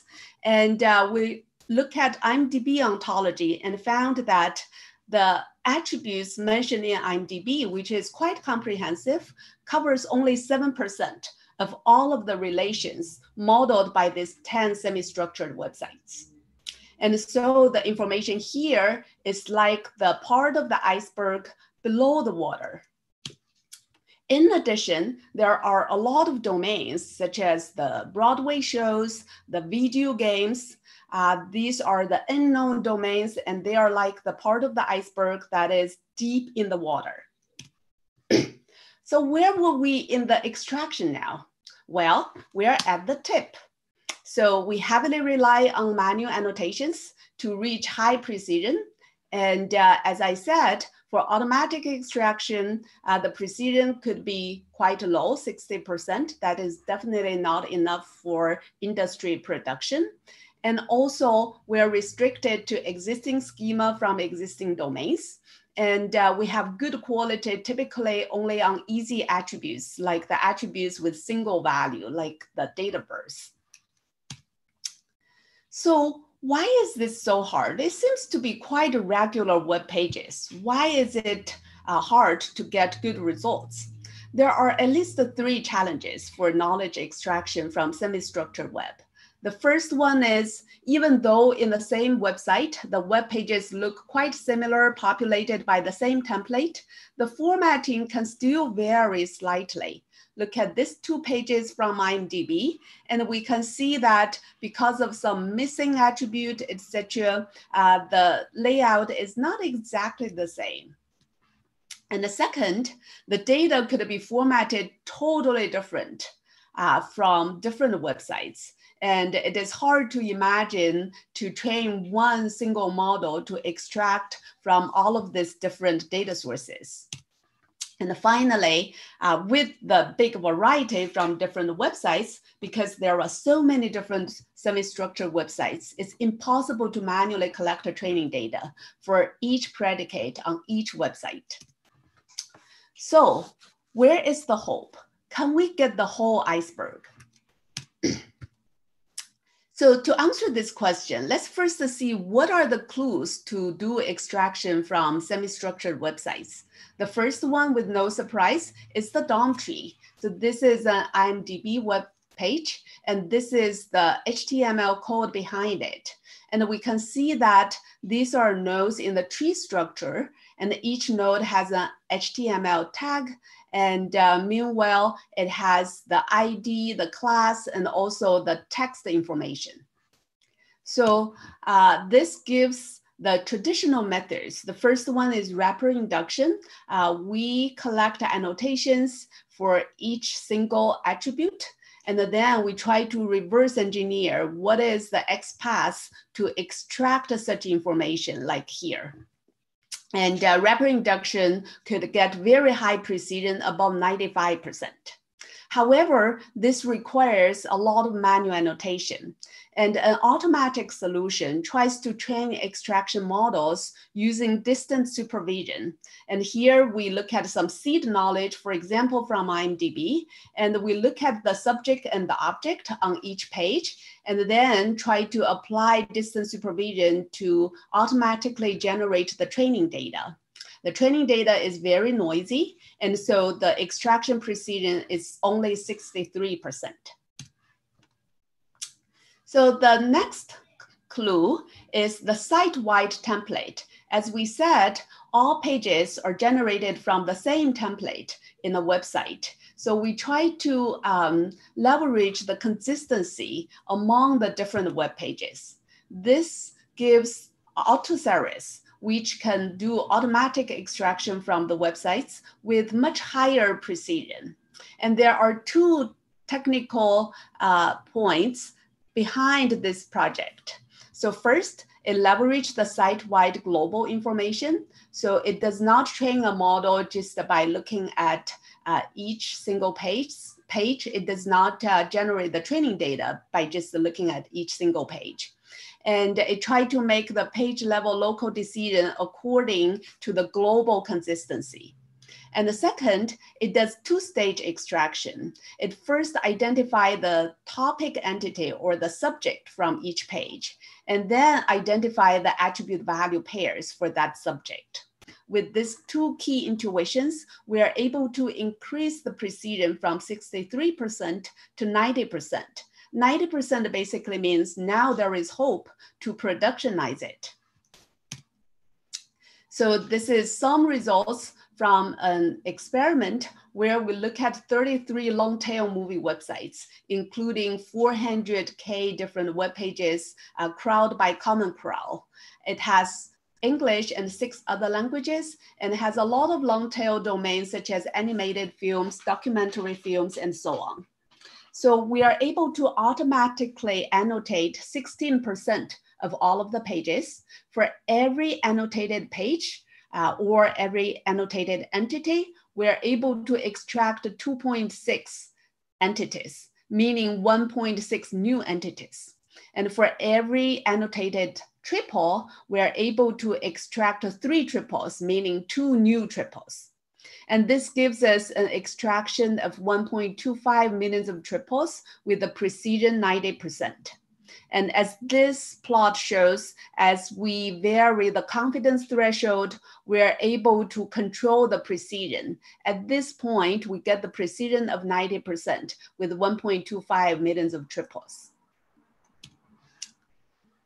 Okay, the next clue, if we look at the page, actually there is a lot of uh, information hidden in the layout. So let's look at these three attributes we already know, and we see how they are vertically aligned and horizontally aligned. And this helps us to guess in theaters is another predicate, and the value is July 12th. So using this kind of clue, we worked on this project called OpenCeres, which allows open information extraction to extract knowledge for attributes that we don't know yet, not in any existing ontology. So the key technical idea is weak learning. We generate the weak labels according to the um, labels that are generated using the seed knowledge. The precision is lower, it is 65%. However, we can increase the number of attributes by 10 times. Here are the examples of um, how we can enlarge uh, the set of attributes. Taking university as an example, our seed knowledge contains only three attributes, phone number, web address, and type. And we are able to identify a lot of new attributes like the calendar system, enrollment, highest degree local area, so on and so forth. So this is um, extraction on the same set of long tail movie websites. Uh, this purple line is for closed IE for AutoCeres, and this green line is for open IE for OpenCeres. We see that we added significantly a significant amount of knowledge. And on the other hand, if we look at the knowledge for newly discovered attributes, so the precision is still low and we still need to work on increasing the precision. With that, we can go from the, uh, the iceberg above the water to somewhere below the water. Okay, the final set of clue is the visual patterns. And before I tell you what is the visual pattern, I want to do a quiz with you. So I don't know how many people in the audience understand Korean. So um, I'm hoping actually most people don't understand what this page is about. However, even though you may not understand the page, you may not understand every single Korean word on this page, you might be able to guess what is the topic entity on this page. So that is this part. This part represent the topic entity, the subject, and which part represent an attribute for this topic entity. All of this should be, and here is an example. And what are the values for this attribute?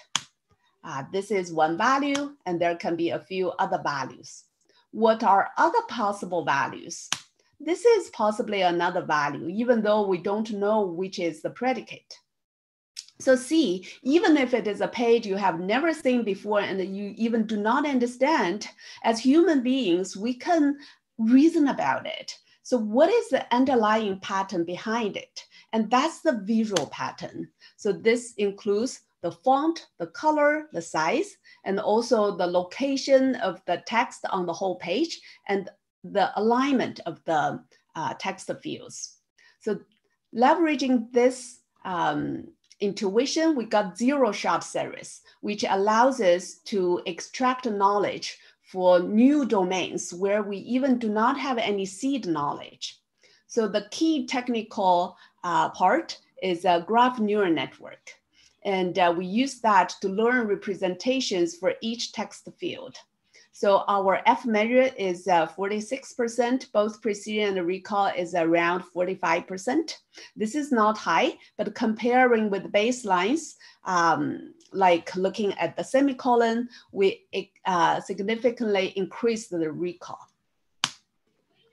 So uh, here is the extraction uh, on all of the domains where uh, we might have the training data and also on the domains where we do not have the training data. We can see that for those new domains, our result is only slightly worse. And this gives us the whole iceberg. Okay, so next, let me talk a little bit about how we do such zero shot extraction. And this is our latest results and how we leverage all of the evidence I have just mentioned. And uh, here I want to call out the key contributors for this project. So the key technique, as I said, is to leverage the graph neural network. And uh, to apply graph neural network, we need a graph. And the graph is generated according to the page layout. Each node is a text field and the edge represents their um, layout relationships or DOM relationships. The purple lines, purple edges represent the left and the right relationship. And the yellow edges represent the up and the down uh, relationships. And uh, the green lines represent the DOM relationships. Uh, basically, these are nodes that are siblings or cousins in the DOM tree. Look that cast and the crew, even though they are a little bit far away on the page, but on the DOM tree, they are siblings. And for each text field, we look at two different kinds of features, the textual feature uh, from BERT embedding, from the IDF across the website. Cast will appear very often on different websites, whereas particular person names will not appear that often. And also the text length. And for the visual feature, we look at the font size, whether it is bold, underlined, italic, what is the font color, what is the text field dimensions. So let's use this as an example to see how we train the model. For this Smith College with acceptance rate and tuition, uh, we get the visual and the text uh, features for each field. And meanwhile, we get the page layout graph we feed that into a graph attention network. And uh, this allows us to propagate the information uh, among the neighbors. And then we can get the contextual representation of each text field. To do closed IE extraction, uh, where we extract using existing attribute set or ontology, we take the visual feature, the textual feature, and the uh, contextual features and uh, feed it into a multi-class classifier to decide for this particular text field what relation it is talking about. And uh, for OpenIE, we take a pair of text fields like tuition and $53,000 and uh, we generate uh, the, some pairwise features by combining the, uh, their individual features and feed all of them into a binary classifier to decide whether that's attribute value pairs. And for training, we have a pre-train step uh, on simplified IE tasks. So basically, we try to decide for each text field, whether it is a relation string, an object string, or some other strings. And uh, after we do the pre-training, we will freeze the GNN weights and then train the extraction layer for closed IE or open IE tasks. Okay, so now uh, this is regarding what results we have got and uh, our latest techniques. Are we there yet? So um, there are several future works. First, uh, we still get quite a low quality uh, precision for open OpenIE and for new domains. Can we improve the extraction precision to above 90%? Because in industry, that's the minimum for consideration of uh, production. And here we can possibly, for example, combine the zero-shot learning with distance supervision. And second, um, inspired by BERT embedding, etc., can we learn some representations for the semi-structured data to support not only information extraction, but other applications such as question answering, search, and so on. And finally, can we align the knowledge from millions of the sources after we do the extraction? Can we link the entities across different sources and types? And can we align the relations in OpenIE? Here I have some uh, shameless advertisement for a paper presentation uh, we have for tomorrow. This is regarding entity linkage. Okay, several takeaways. We aim at harvesting knowledge from all of the semi-structured data on the web, and we aim at high accuracy. And meanwhile, we are open to extract new entities and new relationships.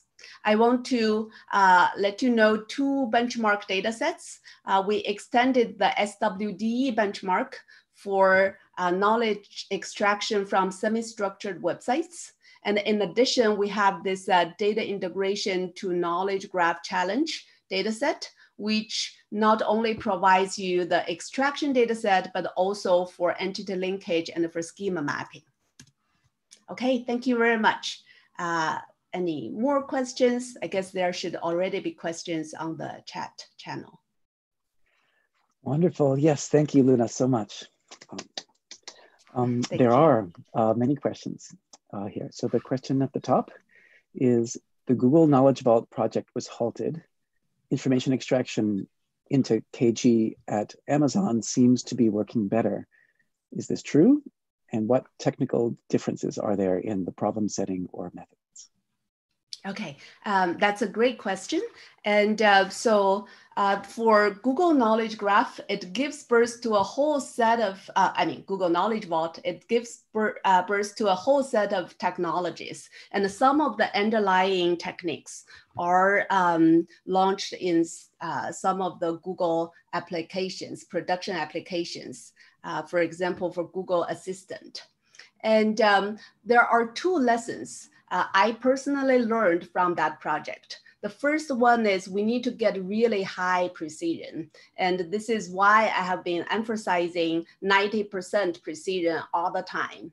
And the second lesson I learned is uh, Knowledge Vault uh, does not extract knowledge for new entities and for new relations. So all of the knowledge is among existing entities in knowledge graph in Freebase and uh, consider those like popular entities. We already know all of the popular um, facts. And uh, what we could extract automatically from the web are oftentimes the long tail knowledge for popular entities. It is not really required or like in demand that much. And uh, for this new project, the Ceres project, we focus on identifying new entities and even new relationships because those long tail entities, when we get popular facts for those long tail entities, actually collectively, it can be a lot of um, impact. Hmm. Thank you. Next question. Products are particularly strong examples of entities at multiple levels of granularity that Jamie Taylor described in his talk, mentioning Beethoven's Ninth and its different versions. Um, your thoughts about this for products, I suppose. Sure. Uh, that's a good question. So for products, we seldom say, okay, uh, these two, five different products, we consider them as uh, different. As far as as a um, like a customer, you get one of them, you get the second of them, you cannot distinguish it. So uh, we do not make that kind of distinction. And then it is much more of, um, if we say it is the same uh, product, if it, uh, if you get it and you cannot distinguish it and you feel happy. On the other hand, this uh, different granularity actually appears a lot for product types. And uh, I believe it or not, we have uh, 100,000 different product types at Amazon catalog. And we are still able to identify more. And that gives huge challenge in terms of automatically um, construct and enrich the taxonomy and um, also uh, categorize each product to oftentimes multiple different categories. And the third, when we train any imputation and cleaning model, uh, how to make it work for hundreds of thousands of different product types because, because each one has its unique feature. Right. I just follow up on that. I imagine that in some cases, two products that would be highly related, like a recording of the same symphony, but on CD versus some other format, yes. uh, maybe yes. Should appear on the same product page. And then for some other products, they should be made separate based on similarly similar attributes. This happens, sure. and how are these decisions made? Yes, yeah. So this is what we called uh, variations. For example, we could have a whole bunch of different Tide detergents uh, that have different scents and the sizes, but that's the only difference. And certainly different customers will have different preference, but normally uh, the price will be quite similar. And also the comments for this uh, like um, uh, customer reviews for these uh, products in the same family would be quite similar. And uh, this is actually a perfect advertisement uh, for our paper that will be presented tomorrow. Excellent, wonderful. All right, next question. You mentioned BERT embeddings as input to your GNN training. BERT is often great for context sensitive embeddings, Does that matter here for such short fields? That's a good question. And uh, so we use the pre-trained BERT embedding. So we can tell, for example, a director and a directed by this have some similarities and they are likely to be predicates. And on the other hand, the names, their person names, etc., they are likely to be uh, the objects. And mm. uh, we see uh, more um, improvement for uh, closed IE, but the less for open IE. I see, right. So even if the text you're representing is just very short, there are just a few, one or two words of context still trying to tell. Them. That's true. All yeah. right, yeah. All right, the last question here on the list here, just with the right amount of time. William Cohen's invited talk discussed answering queries requiring multi-hop logical reasoning. Do you think Amazon users would use this? And what would its technical requirements be? So what I found is uh, whatever William Cohen said, this will be either useful now or useful, very useful in five years. So I wouldn't question that. And in addition, I really like uh, the morning session uh, from uh, William, from Jure regarding uh, using, considering uh, multi-hop QA as knowledge inference. And I can see a lot of um, uh, interesting applications out of it. Wonderful. Luna, thank you so much. I will clap for the thank large you. audience that we have here all together and turn Thanks things back over to Sameer or the program chair, I don't know which, uh, um, to describe next steps. Thank you again, Luna. Thank you, Luna. Um, Thanks. Now we're just going to have our hallway chats. Um, and I think uh, there are virtual booths there for people to attend. There are invited speakers who will be available to chat. I think Jure is going to be late by 30 minutes. Um, and there's also a random chat session as well. So I encourage everyone to go there, hang out, uh, talk to invited speakers more. And um, we'll see you in the live session tomorrow morning. Thank you.